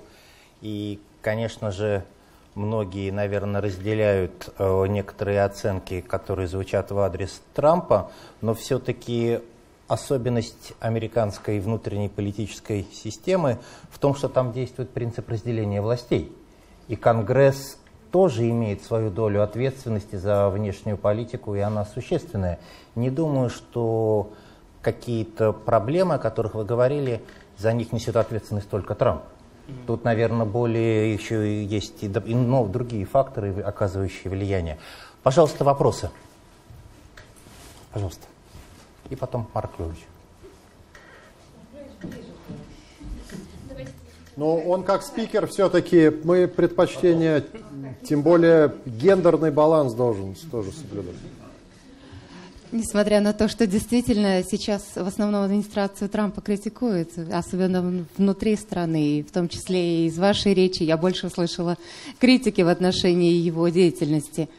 Я задам вот какой вопрос. А что позитивного на, на, на нынешний момент вы могли бы выделить из э, правления Трампа как какие-то действия, а может быть какие-то уроки, которые важны для истеблишмента, да и вообще в целом для страны? Что no, я, я понимаю вопрос. Вопрос это что позитивный. No, I'm just saying, yeah, you're criticizing mostly, mm-hmm. but then what positively do we have from that? Mm-hmm. Is there something that we can suggest as a lesson, or something that we can suggest probably as a certain kind of positive results, mm-hmm. maybe? Um, ну, да, я не голосил. Да, я критиковал Трампа сегодня, но... Um, yeah, I didn't vote for it. um, что мы можем взять из этого положения? I guess the first lesson is that um, we would hope the Republican Party and the Congress would take from this is that they cannot, if the leadership's not there on foreign affairs, it needs to be provided. So if the Trump administration doesn't want to give the attention to foreign affairs that's needed or is not serious about it, that vacuum needs to be filled from the Senate, from the House, from other sources. Uh, and that's not happening. And that is a failure of leadership, it seems to be within his party, especially the Republican Party. Uh, and perhaps the other lesson is if that vacuum's not filled, the opposition, the Democrats, reactia impeachment. well, the, the, the, why not try to show the leadership that's missing? Why not try to show more constructive leadership? Instead, the gamble seems to be to raise the stakes higher and try to force him out. So. Спасибо. Марк, может быть, кому-то из зала? Кузьмина Татьяна, Институт США и Канады. Если возвращаться к теме, где те круги в США, на которые Россия может опереться а, в продвижении своих интересов? So where are those political allies which could be used for the support of the Russian policies? Fort Let's be Ross. practical and cynical. Форте Рос. Но, но я, я живу в Сент-Клауде, если вам надо найти меня. Um, I think Микрофона лучше не говорить. I think I think uh, obviously in academia, in experts in the State Department, in the bureaucracy, people who understand more clearly the situation. Under President Trump, we've seen an unprecedented number of foreign service officers, former ambassadors, high ranking people in the State Department leave government service. And I think this says a lot there. So I think what we need is for academics, people outside of government service, to start putting pressure on Congress, senators, people in policy to say, look, we need a more realistic policy here. This is dangerous. You're increasing risk. We need to have a more professional and realistic approach to what's happening. Спасибо. Тогда поприветствуем нашего спикера. Спасибо вам. Коллеги, э, разрешите мне пригласить на нашу сцену следующего э, спикера, профессора э, Тюркера Ташансу, правильно, из университета Анкары. Прошу вас. Я просто вспомню о том, это как шутка, что однажды, а вот это быль, однажды Андрей Андреевич разговаривал с министром Турции, и тот у него спрашивает, э, господин Громеко, вот, пожалуйста, скажите, почему на флаге армянской э, ССР э, гора Арарат? Вы что, претендуете на нашу территорию? На что Андрей Андреевич у него спрашивает. А скажите, вот на флаге Турецкой Республики расположен полумесяц. Вы претендуете на Луну? Прошу вас. Отличный анекдот, спасибо. Э, Здравствуйте. Э, Сначала, конечно, э, я хочу сказать спасибо за тех, кто организовали такую отличную конференцию и пригласили меня за отличным городе. Это очень-очень красивый город Казан. Э, И я хочу продолжать э, с вашим разрешением э, чуть-чуть по-английски, чуть-чуть по-французски, может быть, чуть-чуть по-русски. Uh, first of all, mm, I want to talk about. So I'm coming from Turkey, and when my thema is written on the list, it was like uh, Ближний Восток. Сейчас uh, что происходит, что может быть, and I may just tell you that so as to understand uh, Middle East nowadays, I guess uh, it's like just a metaphor. Just put yourself in 1913 and try to un- understand Indonesian politics uh, without understanding Eastern European issues. So nowadays, Middle East is something like that because uh, the general uh, distress lines and lines of stresses are not in the Middle East actually, although many people think so. So everyone was talking about China. I didn't want to talk about China actually, but I, I have to refer after all those references. Uh, it's obvious that uh, there is a shift in the center of power. There is a shift in the center of power in the meaning of economics. And there's a change in the economical structure and production structures of the world. So uh, that's an earthquake actually. That's an earthquake in the West, first of all, because West is changing. And another earthquake is in the strategic area and the global area. There's a shift uh, for the centers. So first of all, I want to talk about a little bit uh, about the earthquake in the West. So what happened there? So Zygmunt Bauman was calling it the crisis of modernity, and people were searching for postmodern ideas. So we gave up with that, thanks God. And the other thing is, it's really very interesting for me when I remember Antonio Gramsci when he was just saying that the old is dead, but uh, new was not born yet. So we're just uh, in between that area, I guess, for the economical and technological structure of the West. Uh, last year, uh, when I saw Mark Zuckerberg at Senate, uh, you know, he always wears black t-shirt and jeans. He was wearing a tie, and he was sitting like a 14 year old boy at the Senate. And I just said that, oh my God, there's something conventional, what we call, what we call modern. Modern is just taking, let me say, postmodern or the new thing, what it is, I don't know. They are taking to Senate to tell that modern is still here. That's why when we're trying to understand what's going on in the West, I don't think that Brexit is a result. I don't think that Trump is a result. Those are the consequences. Consequences of the West searching for itself. It's trying to create a new West, but just think of 18, uh, 1789 and think of 1830, 1848, 1861 so it's not so fast. But some people in the United States, I guess, they thought that it was so fast. They forgot that there is what we call modern still in Europe. There is what we call modern still in Russia. And I'm not talking about strategical needs only. I'm talking about social structures, economical structures. So, trying to make the change so fast created the reaction stronger than expected actually.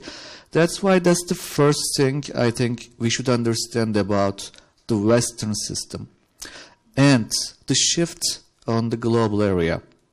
Uh, i want to refer to jacques rancière uh, a french philosopher. He's still alive. And jacques rancière wrote a book called uh, au bord de politique on the shores of the politic. I don't know, it will be like на берегу политического, да, по-моему, по-русски. He was just saying that the system is police, but there is demos instead of just out of the police, and politics is for demos. So you may just uh, create another metaphor of center and periphery of Wallerstein. Uh, it's similar actually, but what we called periphery what demos was the old world, which was very strong, very strong in traditions, very strong in beliefs, and it was experienced. So I just want to remind one sentence uh, from Alexander Gertsen. At mid 19th century, Gertsen was saying that Europe is not sleeping. Europe is already dead. And the 20th century will be the competition between the United States and Russia.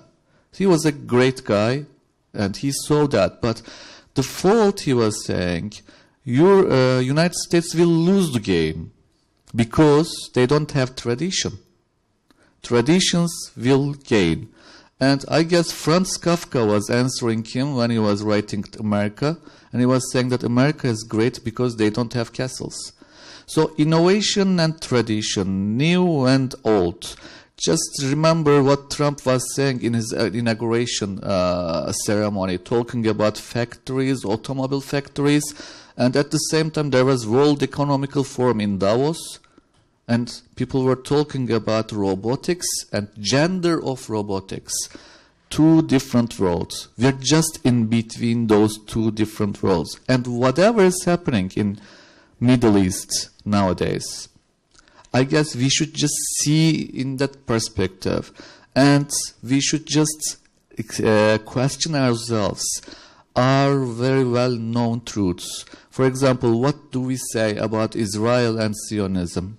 Is Zionism uh, the crystallized version of nationalism and modernity? Will it still be? Or what about Arab independence in Palestine? It's another issue. Or what about, I remember Pushkin, for example, when people asked Pushkin, why are you Zapatnik? Why are you Westernists? And you're not liberal. He was just answering, the sole European thing is the government in Russia. So, a state carrying the civilization is modernity or not? All those questions are actually shaping Middle East. And last words of mine, uh, let me tell you, uh, King Fahd of Saudi Arabia was saying that there are two and a half states in the Middle East.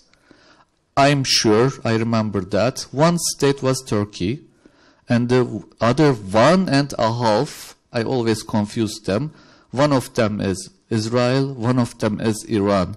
And that uh, balance will reshape Middle East. And now we have welcomed, I guess, all Middle Eastern forces. There's another game changer now in the Middle East, which is Russia.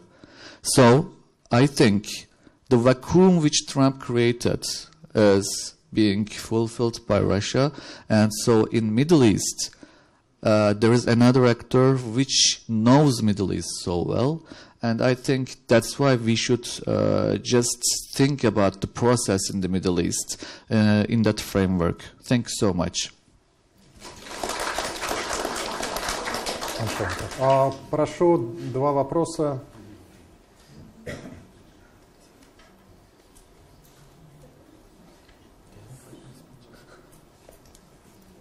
Так, будут вопросы?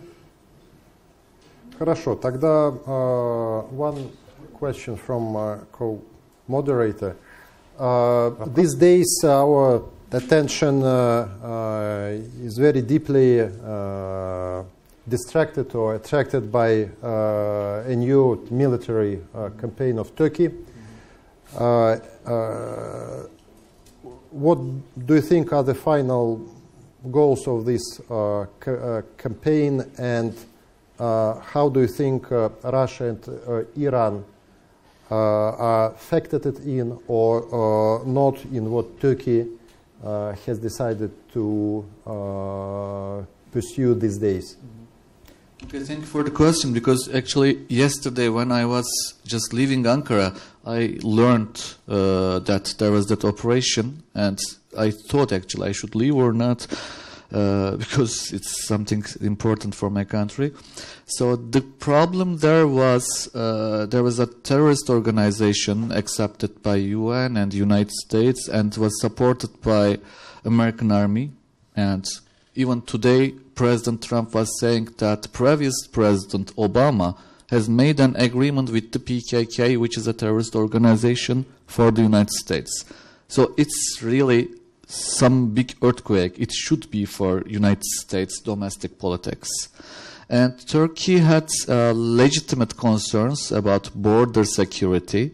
And uh, I guess Russia and Turkey do understand each other in that meaning. Uh, because uh, at the west part of Euphrates, it's the Russian area. It's it looks so, and the east side is the American area, and it's between America and Turkey, and Russia is watching the process, and I don't think that Russia will be against that. The first expressions are uh, not supporting but not against, let me say, from Russia. And that's why uh, the next period will be, I guess, uh, there was one big success, the Astana process, which was made by Russia, Turkey, and Iran. I think that process will be went on, and uh, I think this will be the platform to create peace uh, in Syria.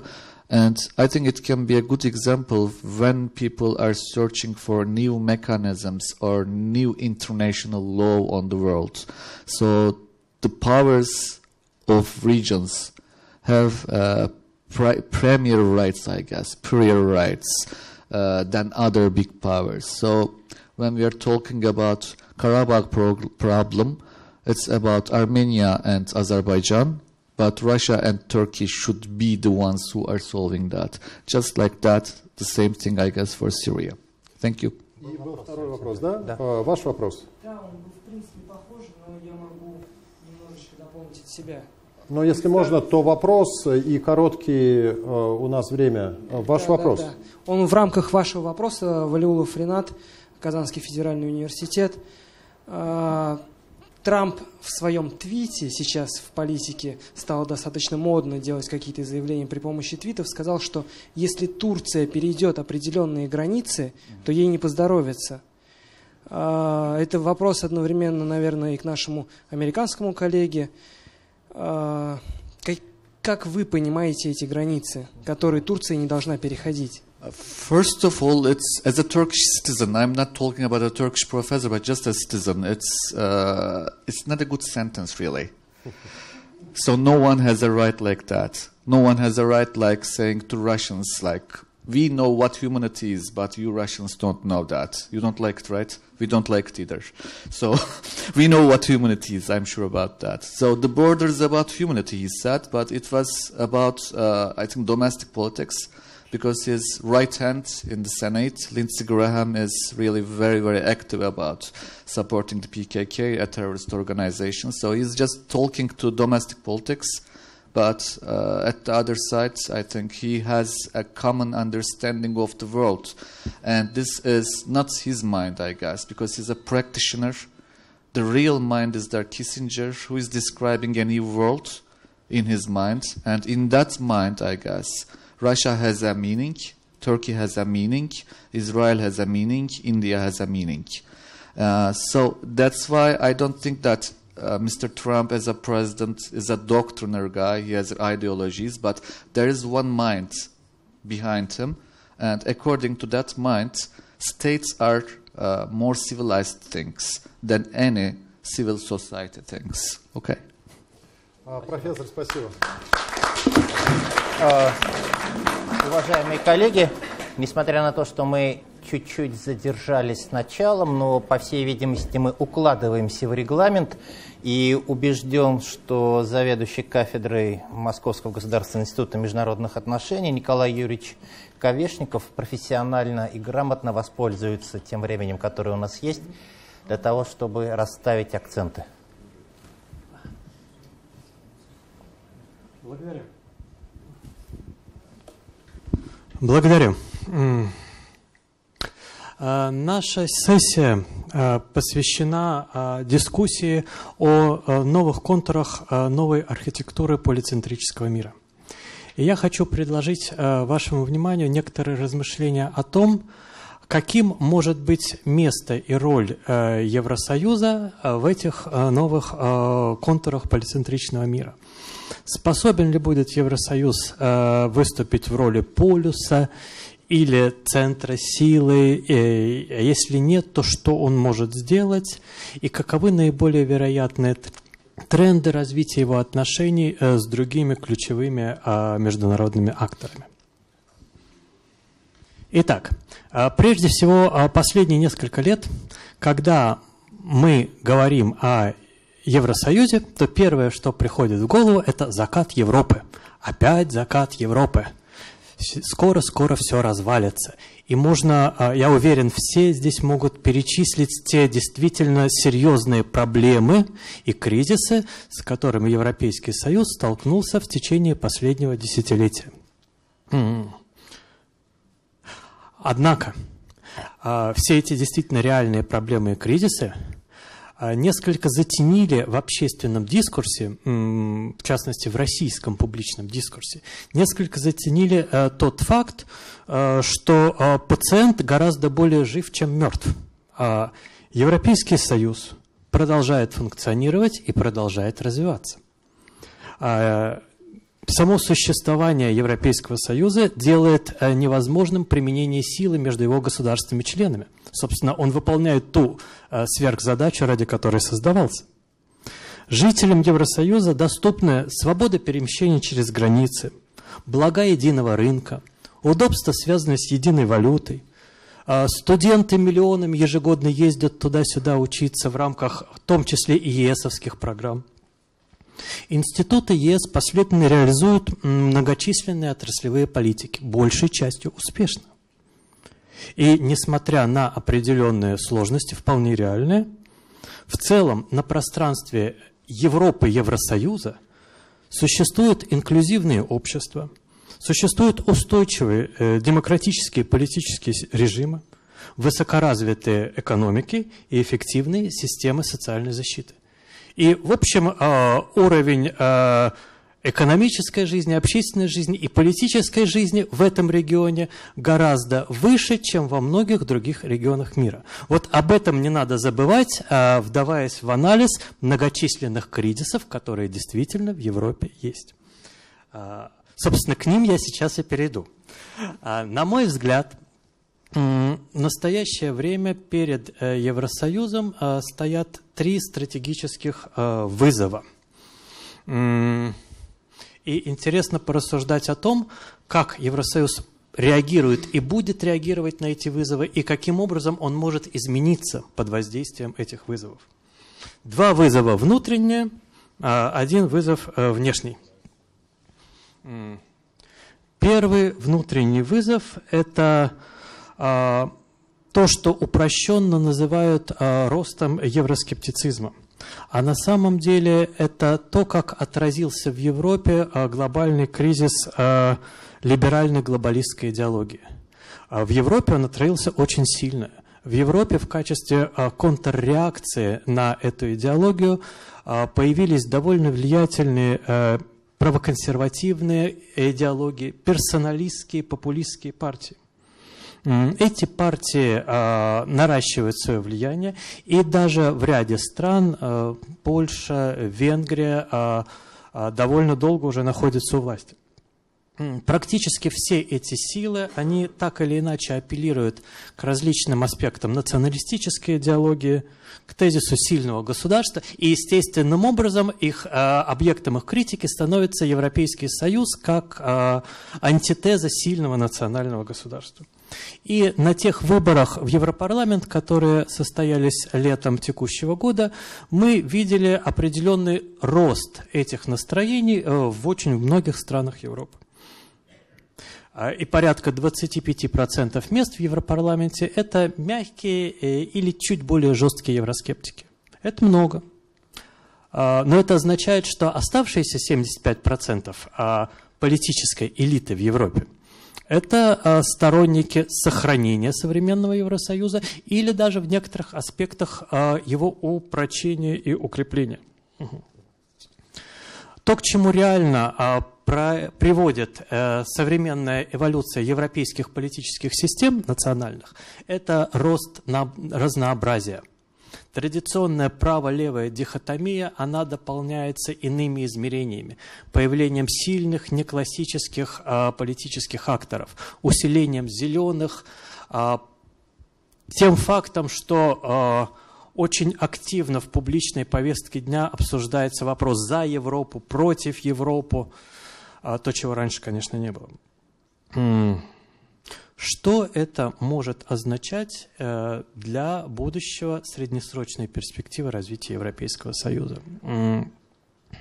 Углубление интеграции, безусловно, становится сложнее.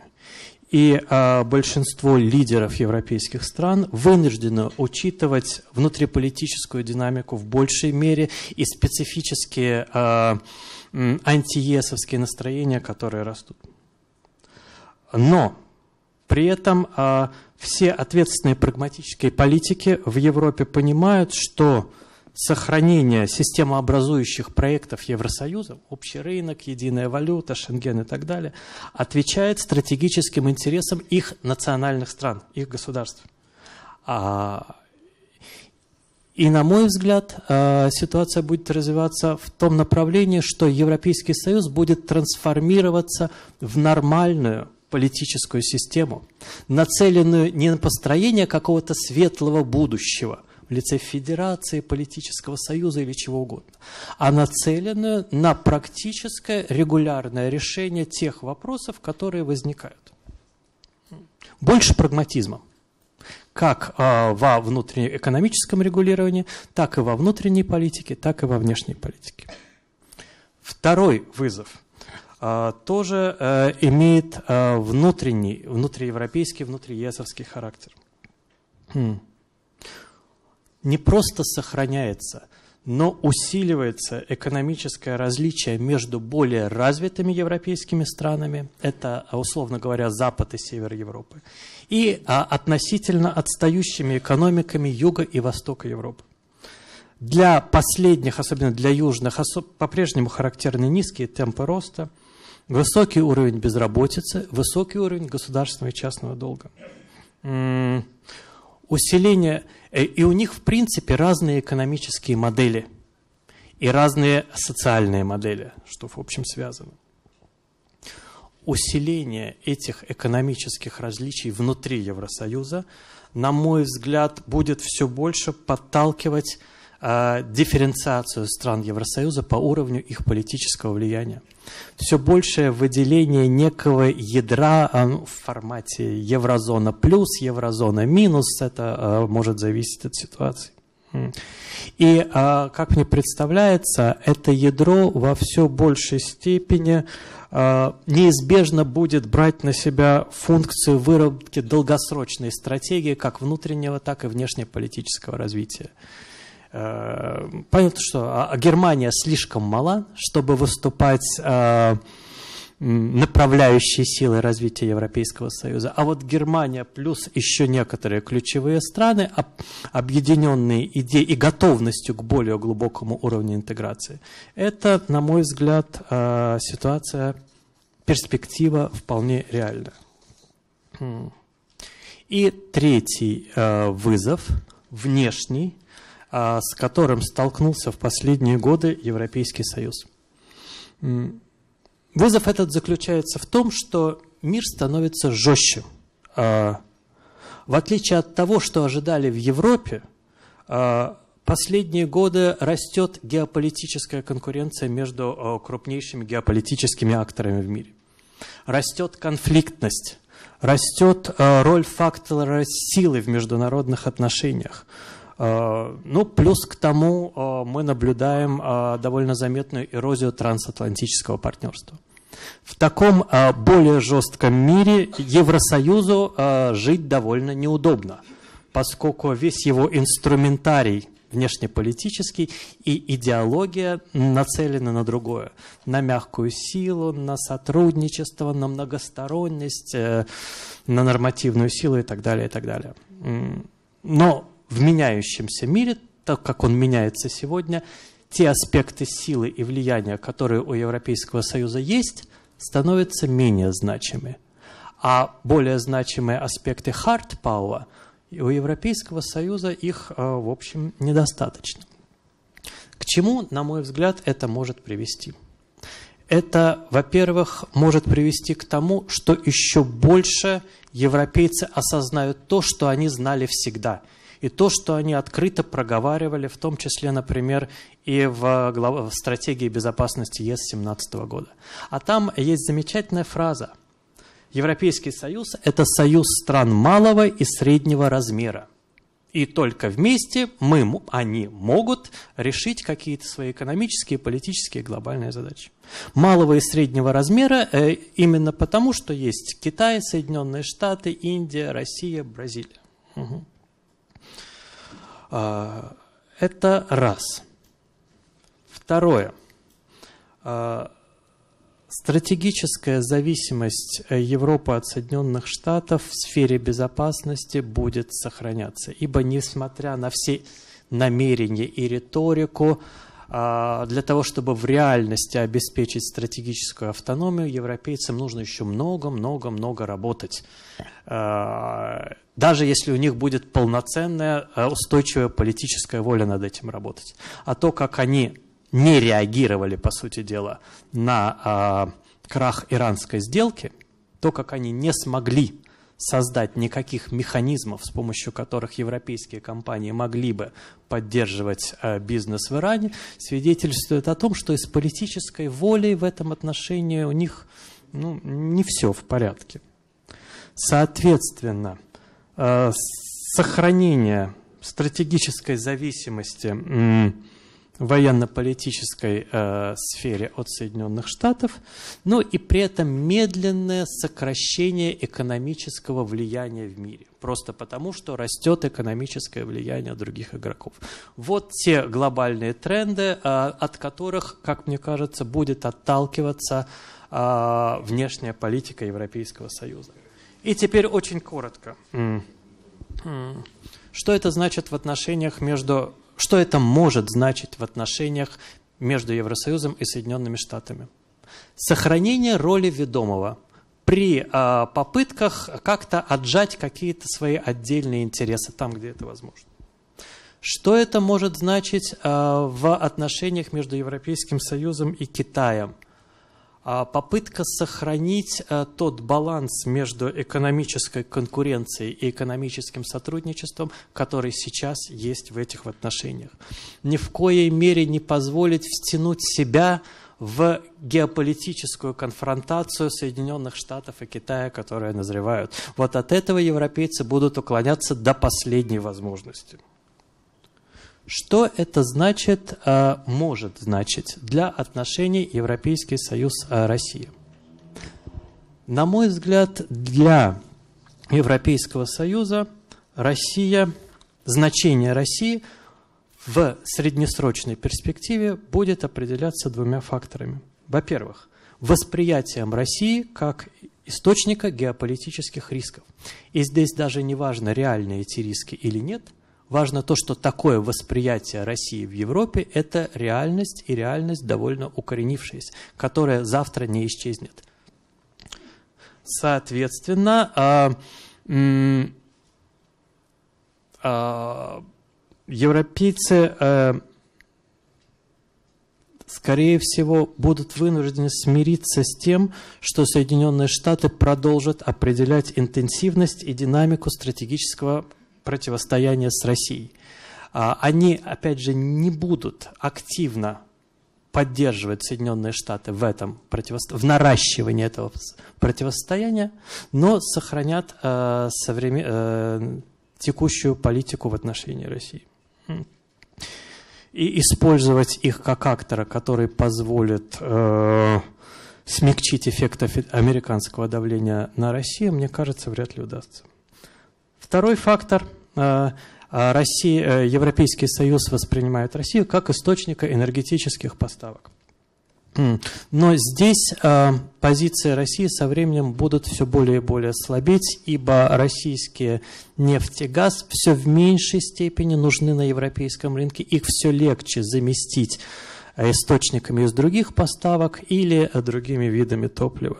И более того, э, продолжая э, импортировать углеводороды из России, Евросоюз уже настолько изменил э, систему регулирования энергетических рынков, что возможности использовать энергетику как фактор давления на Евросоюз уже очень незначительны и, скорее всего, будут сокращаться и далее. Суммируя последнее предложение, если позволите. В целом, мне кажется, политика Европейского Союза в отношении России, осознанно или нет, будет основана на стратегическом ожидании. А вот а, когда период этого стратегического ожидания истечет, а, то политика Евросоюза в отношении Москвы а, будет зависеть от того, удастся ли России обеспечить опережающее экономическое развитие собственной экономики и э, динамич, динамическую внутриполитическую стабильность. Спасибо. Спасибо, Николай Юрьевич. Пожалуйста, два вопроса, уважаемые коллеги. Яковлевич, пожалуйста. Глубоко уважаемый э, Николай Юрьевич, э, как известно, в первой половине сентября этого года парламент Евросоюза принял антироссийскую резолюцию, э, которая ставит на одну доску гитлеровскую Германию и Советский Союз за развязывание э, Второй мировой войны. Вот. И откуда такая кровожадность? Я посмотрел статистику, кто голосовал за эту резолюцию. Новый парламент, да? 535 за, 60 воздержались, 55 против. Вот э, чем это объяснить? А, помнится, еще Оруэлл сказал, кто контролирует настоящее, контролирует прошлое. А сейчас в Европе происходит столкновение двух нарративов политики, э, политики памяти. А, первый классический Вторая мировая война как война союзников против ужасов нацизма. И это тот нарратив памяти, который, естественно, поддерживает Москва, потому что, потому что это так – и потому что на этом основываются претензии Москвы, э, на претензии России на ее роль в современной системе международных отношений. Но другой э, нарратив политики памяти, который сейчас объективно есть в Европе, это трактовать войну, э, Вторую мировую, как столкновение, прежде всего, двух тоталитаризмов, которые не поделили Европу между собой. Э, работать, разъяснять, напоминать. Спасибо. Еще вопросы, уважаемые коллеги?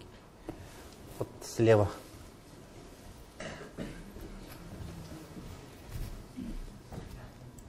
Добрый день, я студентка Казанского федерального университета. У меня такой вопрос. Все-таки есть ли тенденция того, что однажды Европейский Союз перестанет существовать, и государства единолично будут выступать как между, ну, вот, акторы на международной арене? И если такая тенденция вот сейчас имеется, в, приблизительно в каком будущем она может произойти?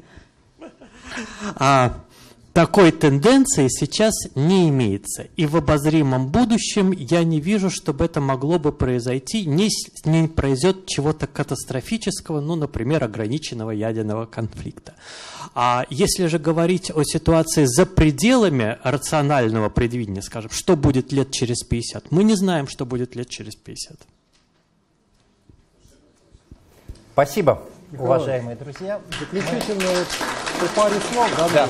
Завершая, завершая работу нашей сессии, во-первых, хотелось бы выразить глубокую признательность всем активным участникам и э, напомнить тезис, который прозвучал в выступлении Алексея Анатольевича сегодня во время открытия, ссылаясь на Андрея Андреевича Громыка, о важности доверия в международных отношениях – послушав наших основных выступающих, понимаешь, что насколько это трудная задача. Она была трудной тогда, в середине 20 века, она остается сверхзадачей и сегодня, но без возникновения условий для наличия доверия между основными участниками международных отношений добиться мира и безопасности будет намного труднее.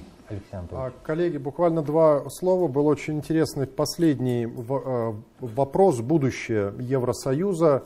А, и вы знаете, у меня немного более пессимистические э, оценки, чем у Николая Юрьевича, не потому что я считаю, что Евросоюз э, находится на грани развала, в самом деле это не так, но если сказать, э, уцелел ли Евросоюз 28, то можно уже сказать, он не уцелел. То есть он э, развалился по границе между Евросоюзом и Великобританией, причем вне зависимости, чем закончится эта эпопея вся с Брекситом. Великобритания находится в глубоком политическом а, кризисе, как и отношения между Евросоюзом и а, Великобританией. Потом а, э, Николай Юрьевич сказал о трех очень грозных кризисах или вызовов, но там можно к этому прибавить и экономическую стагнацию, размывание среднего класса, демографический вызов в ряде стран Евросоюза происходит просто депопуляция, причем быстрыми темпами и а, так далее. То есть, как он будет выглядеть через 10 или 15 лет, ну, Ян Зелонко, на него европеисты много ссылаются, и этот известный ученый выпускает два года назад книгу «Смерть ЕС», знак вопроса, причем он приходит к выводу, что Евросоюз не, вы, не, вы, не выживет, но идея и структура европейской интеграции, они выживут. Просто в другом виде. Евросоюзу а, придется перестраиваться. Но это тема для дискуссии. А, очень для нас а, болезненная тема – это время от времени принимаемая резолюции Европарламентом. Это же не в первый раз. Можно вспомнить там много чего, из-за чего у нас встают волосы дыбом на голове. И вы знаете что, я, я несколько лет а, назад стал, стал думать, да чего же они так вот а, привязались к истории и пытаются все время что-то с ней сделать. И я понял, вроде бы оказалось все очень просто. Сколько стран являются полноценными настоящими победителями во Второй мировой войне в Европе? Этих стран, ну, 5-6 не больше. Все другие страны были или э, интервентами вместе с э, немцами, но под э, Воронежем кто погиб 300 тысяч? Венгры. Ну и э, так далее. Что там делали 300 тысяч венгров?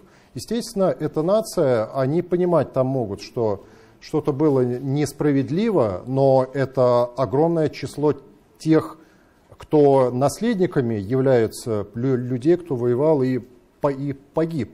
Но ясно, что для них 8 и 9 мая никогда не будет национальным праздником. И большинство стран Европы, они находятся в этом а, положении. Были частью германского Третьего Рейха, там его вассалами или сателлитами. А, надо понимать, что для России а, и для еще только нескольких стран – в, в Европе и в э, мире 8-9 мая это, это по-настоящему праздник победы без э, какого-то э, внутреннего дискомфорта.